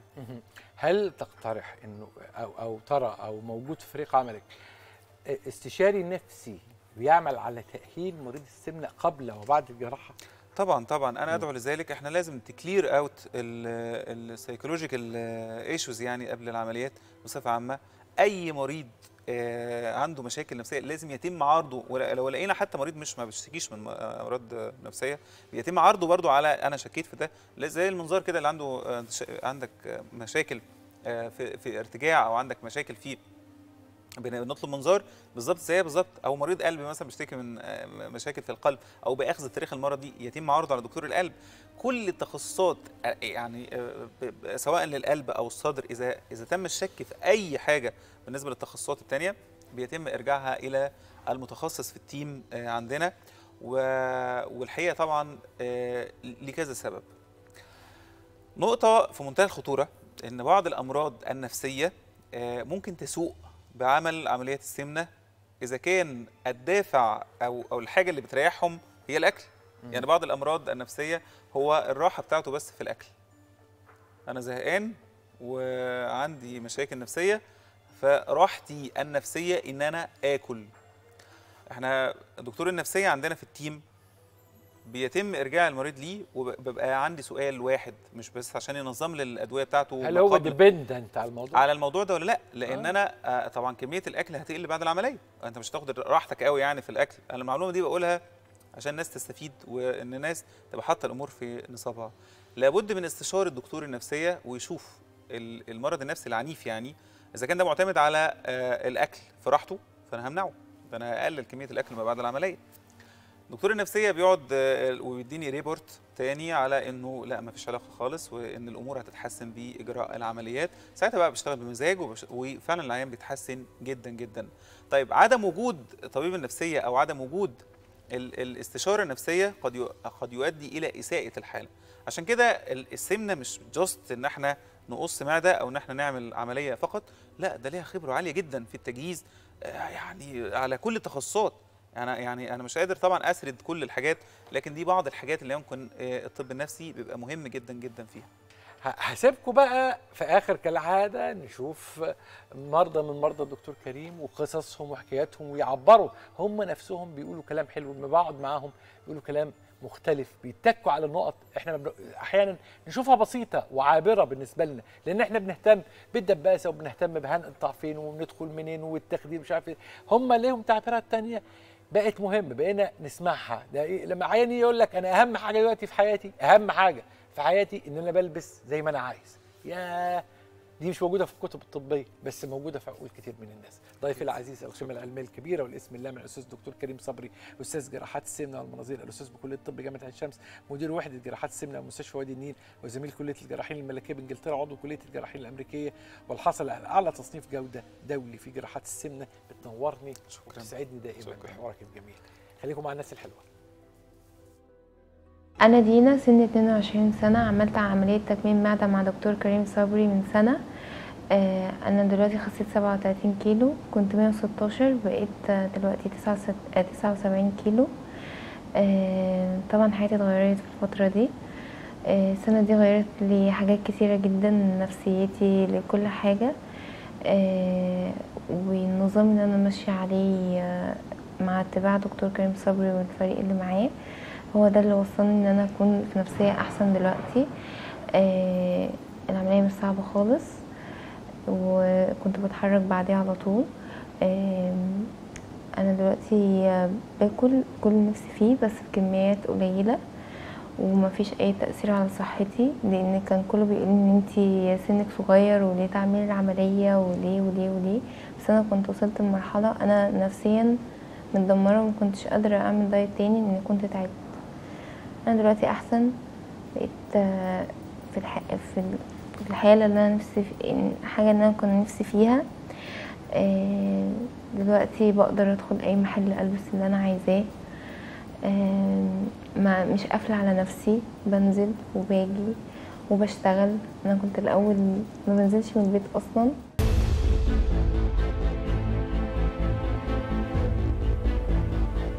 اللي بيروحوا يعملوا استشفاء كامل وعلاج مستمر لبشرتهم بيعيشوا آه، مرتاحين جدا وبعيدين نسبيا عن الكلمة المخيفة اللي أنا قلتها اسمها الشيخوخه الشتاء بعيدا عن إن هو بيأثر على ترطيب الجلد والحاجات دي كمان إحنا بنظن إن إحنا في بعد عن الشمس والشمس لسه موجودة. الناس اللي عندهم استعداد لأمراض اللي هم بيجي عندهم إكزيما بيجي عندهم التهابات بيجي عندهم حساسية أتوبية بيجي عندهم حاجة اللي هي زي لسعة البرد اللي هي اسمها chilblains اللي هي بيجي أطرافهم تبدأ تحمر كده وتورم وتوجعهم ده بسبب البرد. دي التأثير المرضي. عندك أسلحة آه، في عالم التجميل وفي عالم ال restoration استعاضه النضارة filler عندنا البوتوكس عندنا حقن الدهون الحاجات بتوع الاستعادة اللي هو آه، إن إحنا نرجع اللي فات هم ال filler وحقن الدهون الذاتية. البوتوكس ده بي- بيأخر يعني بيأخر لي إن إحنا آه، ظهور التجاعيد. ده بن relax. إحنا ممكن نحقن البوتوكس من من عمر مبكر جدا جدا. عشان نلحق قبل ما التجاعيد الخطوط دي تبقى خطوط مرسومة. يعني كانت بدل ما هي حركية static بتروح وتيجي مع الحركة في ناس بتبقى عندها خلاص مرسومة على وشها وإحنا محتاجين نتدخل بطرق أخرى. حقن الدهون الذاتية. ده بقى اللي هو اللي إيه ده ده الصيحة الجديدة كده اللي هم إيه يعني اللي لسه الناس ما بقتش يعني مش oriented بيها قوي قوي قليلين قوي اللي بقوا يعرفوها ويطلبوها. خلي بالكم من بشرتكم وخلي بالكم من الشتاء.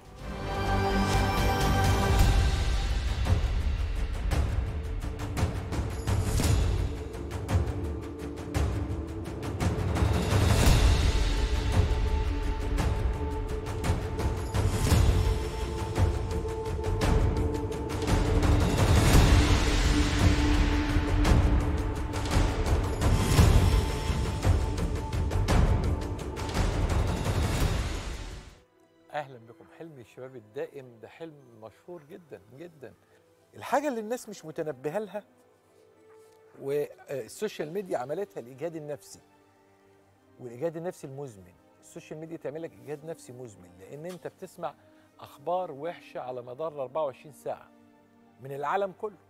حرب مش عارف فين مين حصل له إيه اغتيال في الحتة الفلانية مش عارف آه، اضطراب اقتصادي في المكان الفلاني الدولار عامل إزاي الذهب فين البورصة بتحصل لها.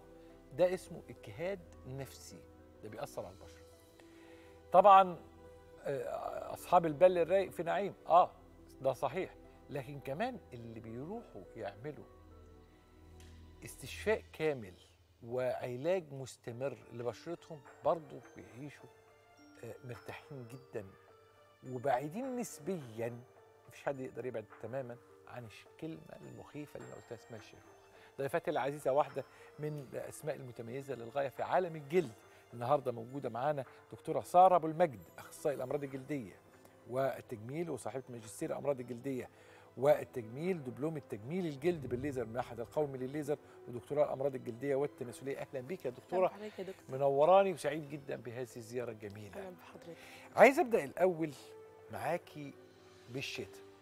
الشتاء في أغنية قديمة قوي اسمها الشتاء بيدق البيبان. كذلك الشتاء بيهدد البشرة. آه، دي حقيقة. إيه بقى؟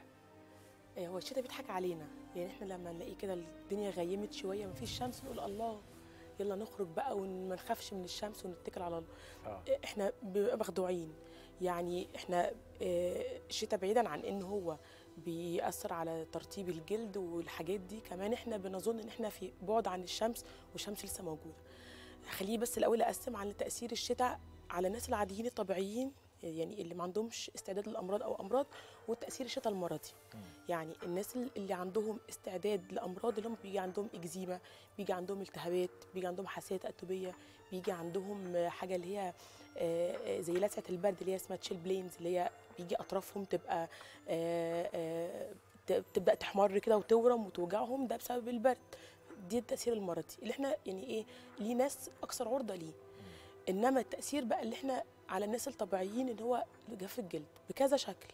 يعني أول شكل إن إحنا طبيعي شوية ما, ما بنعطش في الشتاء. ف... فما بنشربش مية كفاية فبيقل ال- ال- ال hydration بيقل الترطيب للجسم كله. فإحنا ما بنحسش بالعطش ف يعني ما, ما, ما بنلتفتش للموضوع ده وبيأثر على جلدنا بشكل غير مباشر. كمان الناس في الشتاء بي بي بيتعرضوا لتيارات الهواء فده بيأثر على الجفاف الجلد. يعمل جفاف للجلد يأثر على حاجز الجلد اللي هو ال skin barrier بتاعنا. آه، في الشتاء الناس بتحب قوي الميه السخنة فيبقى يشغلوا الميه بتاعت السخان على الآخر خالص ويبقوا الميه فرحانين بيها الدافية دي دي بتأثر على الجلد بتعمل جفاف شديد جدا. آه يعني دي بتطب بتدوب الطبقة الدهنية بتاعت حاجز الجلد. الناس برضو آه، بي يعني الناس بقى اللي هم مهووسين بتوع البشرة بيحبوا يعملوا كذا مرة تقشير وكذا مرة آه، اهتمام بالبشرة. في مستحضرات معينة في في, التجميلية بتؤدي لجفاف الجلد بشكل غير مباشر وإحنا في المقابل ما بنرطبش كفاية فبنوصل لجفاف. الجفاف ده بيعمل إيه بقى؟ الجفاف ده بيعمل التهاب الالتهاب ده يعمل شوية آه، إحمرار الإحمرار ده يقلب بغمقان فدي مشكلة. الجفاف ده آه، بي- بيخلي الخطوط الرفيعة اللي هي كانت ممكن تتلحق تتحفر تبقى خطوط دايمة. فهو ده تأثير الشتاء. طبعا بقى موضوع الشمس إن إحنا إحنا نظن إن إحنا الشمس مش موجودة بس إحنا الأشعة واصلة لنا والتأثير بتاع الأشعة واصل لنا. ف... فالناس بتحطش واقي شمس وهي خارجة يعني ال sunscreen دي بتبقى حاجة مش مهمة قوي بالنسبة لهم هم مش شايفين الشمس بس الشمس موجودة. فلما بنطنش ال sunscreen شوية أو يعني بنقول إن إحنا ما فيش شمس وبنخرج من غيره بنتعرض للأثر الضار لأشعة الشمس اللي إحنا مش حاسين بيه وبالتالي التأثير التراكمي ده بيبقى سيء جدا على البشره. فده يعني تلخيص كده اللي بسرعة لتاثير الشتاء على على على الجلد.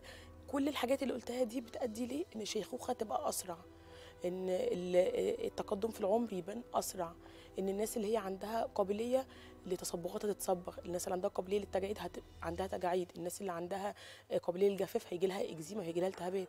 ف... فهو ده تأثير الشتاء على البشره هل ممكن بنت تيجي تعتني بالبشرة في سن صغير مبكر آه، في عشرينات لسه في أولها. ده, ده لازم مش ده آه، مش ممكن ده ده يا. ريت. يعني هو إحنا كل ما بنبدأ بدري كل ما بنكون كويسين كل ما يكون أفضل. يعني لما إحنا مثلا حد ي... بنت صغيرة تبدأ بدري هي كده عملت لنفسها ثلاث أربع آه، آه، حاجات. أول حاجة إن هي ثبتت روتين مناسب. إحنا بنفضل نقعد نجرب في بشرتنا لحد ما نعرف ده المناسب لينا. آه، تاني حاجة إن هي حمت بشرتها من التجاعيد اللي اللي هي اللي هي عاجلا ام اجلا ترسم بس إحنا بنأخرها. آه، تالت حاجة إن هي في روتينات معينة بنستخدمها عشان تحمينا من الجفاف في حاجات معينة عشان حب الشباب في حاجات معينة عشان الصبغات فإحنا بنعرف إن المشكلة بدري ونعالجها أو نتجنبها. فلازم إن إحنا نبدأ بدري. ولازم نرجع لدكتور مختص يقول لنا نعمل إيه. يعني في برضو ناس بت بتحب هي تعمل مع نفسها آه، روتين كده وتقعد تجرب وتعمل وصفات طبيعية ووصفات تقليدية وحاجات كده. ده ما بيكونش ده ما بيكونش على طول مناسب. في ناس بتصدف معاه إنه يبقى كويس بس نسبة قليلة. في النسبة الأكبر بيعملوا مشاكل ويرجعوا لنا. يقولوا ده أنا عملت كذا وحصل لي التهاب ده أنا عملت كذا زود الحبوب أنا عملت كذا وعملت صبغات فيعني لازم الدكتور يوصف يفصل روتين على قد كل بنت. عندك أسلحة آه، في عالم التجميل وفي عالم ال restoration استعاضة النضارة. فيلر عندنا البوتوكس عندنا حقن الدهون. تمام. كل واحد فيهم إيه دوره؟ هو إحنا الأول بس نفرق بينهم ده إيه وده إيه وده إيه. هو إحنا الحاجات بتوع الاستعادة اللي هو آه، إن إحنا نرجع اللي فات هم الفيلر وحقن الدهون الذاتية. دول الحاجات بتاعة ال to refill إن إحنا نملى تاني. آه إنما بتاع البوتوكس ده بي- بيأخر. يعني بيأخر لي إن إحنا آه، ظهور التجاعيد. ده بن relax ال- ال- ال- العضلات فبنأخر ظهور التجا- التجاعيد. البوتوكس بنحقن مادة معينة في العضلة. العضلة تعطل فما ترسمش التجاعيد على الوش. في ناس لما بتضحك بتضحك بعينيها كده فعينيها تعمل لنا خطوط اللي هي رجل الغراب جنب العين. في ناس ترفع حواجبها وبتتكلم ب- بتعبيرات وشها تعمل 111 ترفع حواجبها تتكلم ب... ب... بعضلات ال- الفم يعني تعمل لنا ترسم كده حاجات آه، على ال... على الوش. إحنا لما بنستخدم البوتوكس بيأخر لنا الموضوع ده. إحنا ممكن نحقن البوتوكس من من عمر مبكر جدا جدا. عشان نلحق قبل ما التجاعيد الخطوط دي تبقى خطوط مرسومة. يعني كانت بدل ما هي حركية static بتروح وتيجي مع الحركة في ناس بتبقى عندها خلاص مرسومة على وشها وإحنا محتاجين نتدخل بطرق أخرى. ده بالنسبة للبوتوكس. فالبوتوكس إحنا زي ما اتفقنا إن هو بيأخر التجاعيد الفيلر والدهون إحنا بنستخدمهم علشان خاطر نملى تاني. الناس لما بتتقدم في العمر بيبدأ ال ال ال الدهون بتاعة الوش تخس. آه، ال- ال contour الطبيعي يتلخبط. آه، يبدأ يبقى في خطوط حوالين ال- ال nasolabial اللي هي حوالين اللي هي خطوط الابتسامة. يبدأ في خطوط الفك يبدأ يبقى في تحت العين يفضى. آه، غير الخدود اللي بتنزل. دي كلها جزء منها لو ناس صغيرة في السن عشان خاطر آه، الدايت وال والجهاد وزي ما حضرتك قلت الأكل مش كويس والسكريات وعامل ال- ال- ال- اللي هي حاجات اللي فيها مضادات أكسدة بن- بنقل منها ما بناخدهاش كفاية اللي هو الأكل الصحي يعني. ده سبب. وسبب تاني عشان ده غصب عننا ده ده إحنا بنتقدم في العمر فكده كده ده عملية مستمرة مش هنقدر حتمية مش هنقدر نقاومها. بنقاومها طبعا بروتينات وحاجات بس يعني بيجي في لحظات كده خلاص لازم نحقن فيلر. فالفيلر ده زي الاستعادة. بنجيب حاجة من بره hyaluronic acid ده عبارة عن جل بنحقنه. في في أماكن معينة بطريقة معينة بإيد مختص مش أي حد يحقنه. وبعدين ساعتها بنرجع نستعيد جزء جزء ولو بسيط من ال- اللي كان موجود قبل كده. ده بالنسبة للفيلر. آه كمان الفيلر بيستخدمه مش بس للاستعادة كمان بيستخدمه للتجميل. يعني مثلا في ناس عندها تشريحيا تحت عينهم في تجويف ده تشريحيا. هو هي يعني هي بنت صغيرة بس هي كده. فإحنا بنستخدم الفيلر عشان خاطر نعيد ملء التجويف بتاع ال- ال- العين آه هنا الشفايف مثلا. آه، الشفايف آه هنا. العين دي آه دي حالة آه، مننا هنا. لها ال- ال- العين. آه. آه طبعا ال- ال- ال- بالقلب بس ليه فيلر مخصوص تحت العين ده؟ مش أي بيكون فيلر فيلر اخف شوية أخف عن soft، آه، أيوه آه. بالظبط بحيث إنه يعرف يملى المكان ده ما يأثرش ما يقفلش التجويف ده. تمام؟ آه له فنية ده ده ده ده فنية بدقة، وده آه، فنية مهمة جدا. مخيف والله. الشفايف لو رجعنا للشفايف تاني. آه دي دي حالة كنا عمل هي مش عايزة تعمل شكل مخيف هي عايزة contour بس. آه. تقولي أنا يعني شفايفي مش باينة أنا بس عايزة أحددها. فهو ده برضو الفيلر يعني فيلر الشفايف مش كله الشكل اللي هو ال fake المخيف ده اللي هو كل الناس شبه بعضها اسطمبة واحدة من نفس الخياط ما ينفعش ما بقاش ينفع ما. بقاش يعني مش حلو يعني. آه خالص. إحنا وساعات ما بيلايقش على الوش. وساعات بيكون مش بس ما بيلايقش ويعني بيبقى يعمل بقى شكل مرضي ويأخر الحركة ويسبب ضيق للشخص. هنا لا هنا معمولة. يعني مناسبة للوش. دي دي كانت حالة صعبة جدا. دي عندها الخطوط دي والخطوط دي كانت كانت صعبة قوي وتحسنت قوي وكانت سعيدة جدا بال بال- بال- بالفيلر عمله لأنه فعلا الفيلر يعني إيه بيستعيد ال- ال- اللي راح يعني فعلا فعلا. آه كمان بقى زي ما قلت لحضرتك إحنا الفيلر بس مش بس بنملى بيه إحنا أوقات بنعمل بيه تصحيح بسيط زي ما شفت في حالة الشفايف كده إن إحنا بن بنظبط النسب. يعني في ناس بيبقى آه، آه، طول ال- المنطقة بتاعت الدقن مش زي طول منطقة نص الوجه الوجه مش زي منطقة الجبهة. الثلاث تتلات دول بيكونوا مش قد بعض. فبنظبط ال- ال- ال- النسب دي شوية. في ناس بتبقى ال- ال- الأنف والشفايف والجبهة مش على استقامه واحدة. يعني ال- التاتش الخفيف ال- اللي هو بيحل وما بيبوظش ما بيبوظش ال- ال- البشرة ده ده مطلوب. فهو ده فائده الفيلر آه، حاجة بقى حقن الدهون الذاتية. ده بقى اللي هو اللي إيه ده ده الصيحة الجديدة كده اللي هم إيه يعني اللي لسه الناس ما ما بقتش يعني مش oriented بيها قوي قوي قليلين قوي اللي بقوا يعرفوها ويطلبوها. إن إحنا بدل ما بناخد حاجة من بره اللي هو الفيلر ونحقنه ونقلق بقى إن هو تأثيره هيروح بعد شوية أو هيكون موجود بعد شوية. بناخد حاجة من الجسم دهون الزيادة اللي إحنا مخزنينها آه، ناخدها من الجسم ونعملها processing بطريقة معينة. تمام؟ بعدين بنحولها لحاجة ينفع تتحقن في الأماكن تعمل إعادة ملء فإحنا بنكسب ثلاث حاجات. أول حاجة إن إحنا خدنا حاجة من الجسم للجسم. فما بنخافش من أعراض تحسس ما بنخافش من من من إن حاجة جاية من بره. يعني دي دي حاجة دي أول point تاني حاجة إن إحنا بنقدر ناخد كميات كبيرة ونستخدمهم في حقن آه، حاجات كتيره تالت حاجة بقى وده المهمه إن إحنا مثلا بدل ما نحتاج مثلا سرنجة فيلر أو اتنين أو تلاتة وده cost زيادة على العيان إحنا بنقدر نحقن زي ما إحنا عايزين. وما بنخافش من ال cost إن هو إحنا already سحبنا كتير. فده الدهون الذاتية. كمان الدهون الذاتية مش بس للملء يعني برضو زي ما اتفقنا على ال filler ان هو بيظبط بيعمل شوية حلاوة كده. الدهون الذاتية آه، دي الخلايا الجذعية اللي في جسم الإنسان جاية من ثلاث أماكن. المكان الأول اللي هو النخاع الشوكي زي ما إحنا عارفين. المكان الثاني الحبل السري.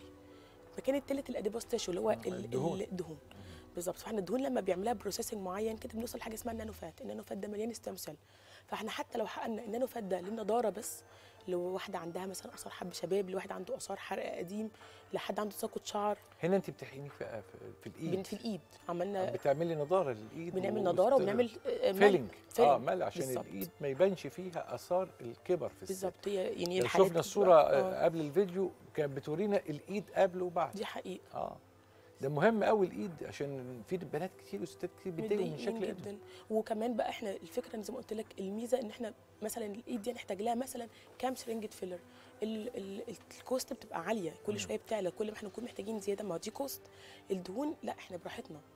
أنا بس عايزة أنبه لحاجة إن إحنا الدهون بنعمل over correction يعني إحنا بنملى زيادة شوية كده عشان هي بعد أول مرة بنحقن بي يعني في شوية كده بيروحوا. فيعني ال- الشكل ده كان بعد الجلسة على طول ودي over corrected بعد شوية بتبقى بتبقى بتتظبط فاحنا كل مثلا حد عملنا له وشه بيبقى خدوده مليانة كده ويعني شكله شكله حلو قوي قوي قوي بينزل شوية صغيرة عشان يبقى شكله جميل. إحنا بس الدهون الفكرة إن إحنا بنعينها للناس اللي هم وشهم فاضي قوي هنحتاج كميات كتير قوي قوي من ال filler الدهون أفضل. الدهون أفضل طبعا طبعا. النتائج بتاع كل حاجة سواء بوتوكس أو filler أو دهون بتظهر بعد قد إيه؟ البوتوكس بنتكلم من أربع أيام لأسبوع النتيجة بتاعته. بيحصل شلل للعضلات فنقلل شوية ال- بالظبط زي الصورة دي كده. يعني الحالة دي بالظبط النتيجة دي كانت بعد أسبوع. بعد أسبوع. بعد أسبوع بالظبط كانت آه، يعني اللي هو مفيش تجاعيد. كل الحاجات دي راحت. هي هنا آه، آه، يعني واضح إنه في over acting frontalis دي حقيقة. عضلة نشطة زيادة عن اللزوم. عضلة أيوة. قوية جدا. دي قوية جدا ودي سنها؟ حد صغير بالظبط دي حد صغير جدا في سن كانت 34 سنة. 34 هي بس صغيرة هي. ده هي على فكرة كانت تحقن من زمان. دي آه دي كانت محتاجة تحقن من زمان. بس هي مفيش خطوط مرسومة. يعني بعد البوتوكس مفيش خطوط static ودي حاجة كويسة. آه. كنا لو في static كنا نحقنها بال filler. آه، دي برضو مدام صغيرة في السن. يعني بس عندها ال smoker line اللي هي ال- الناس لما بيدخنوا طبعا مش بتدخن بس ال smoker line اللي هي لما بنعمل خطوط. بالظبط خطوط الخطوط دي كده. كده. أيوه بالظبط. طبعا دي راحت بتدي خالص. سن كبير دي شوية. سن كبير جدا ولما بقى بيعجزوا بيبقى شكلهم وحش قوي اللي هم الخطوط اللي هي اللي فوق الفم دي. دي ال crow's feet اللي هي ال- اللي crow's هي feet اللي هي آه، آه، رجل حوالين الغراب العين بالظبط. اللي هي حوالين العين. أيوة، آه آه دي برضو كرمش وتبقى شكلها برضو مش لطيف خالص. لا هي بتبقى يعني بتضايق. هي شكلها بيبقى عادي. بيتضايق؟ بس بتضايق. بيتضايق. وبرضه بتبقى لا مش الستات ما بيحبوش. خالص. آه. الستات بيقعدوا يراقبوا الخط اما يظهر. آه. يعني قاعدين خط. مترقبين الخط. فين آه، الخط؟ آه، فين الخط؟ اوعى الخط ده ده حوالين العين ده بيضايق جدا جدا الستات. بيتحقن. بتح- البوتوكس بدقة هنا بتحسن ال... آه، بتحسن جدا. مفيش الحالة دي هي عاملة نفس ال expression آه بتضحك بعينيها. نفس ال expression بين الأولى والثانيه ومفيش أي مفيش أي خطوط. الحمد لله. ضيفتي العزيزة دكتورة سارة أبو المجد اخصائيه الأمراض الجلدية وصاحبه ماجستير الأمراض الجلدية ودبلوم تجميل الجلد بالليزر من المعهد القومي للليزر. دكتورة الامراض الجلدية نورتي وشرفتي. ربنا يخليك الناس يا رب. تسلم والله. خلي بالكم من بشرتكم وخلي بالكم من الشتاء لأن أنا بحب الخروج في الشتاء في الشمس. فأنت كويس إن أنت قلتي لي لأن أنا كنت الحقيقة من الناس اللي الصبح بحب قوي أكون أروح أفطر. نشيط. جدا. بحب أفطر بره يعني في أيام الأجازة في الشمس. فطبعا لازم نحط sun block كلنا. نروح نجيب sun block خليكم مع الناس. مرتب.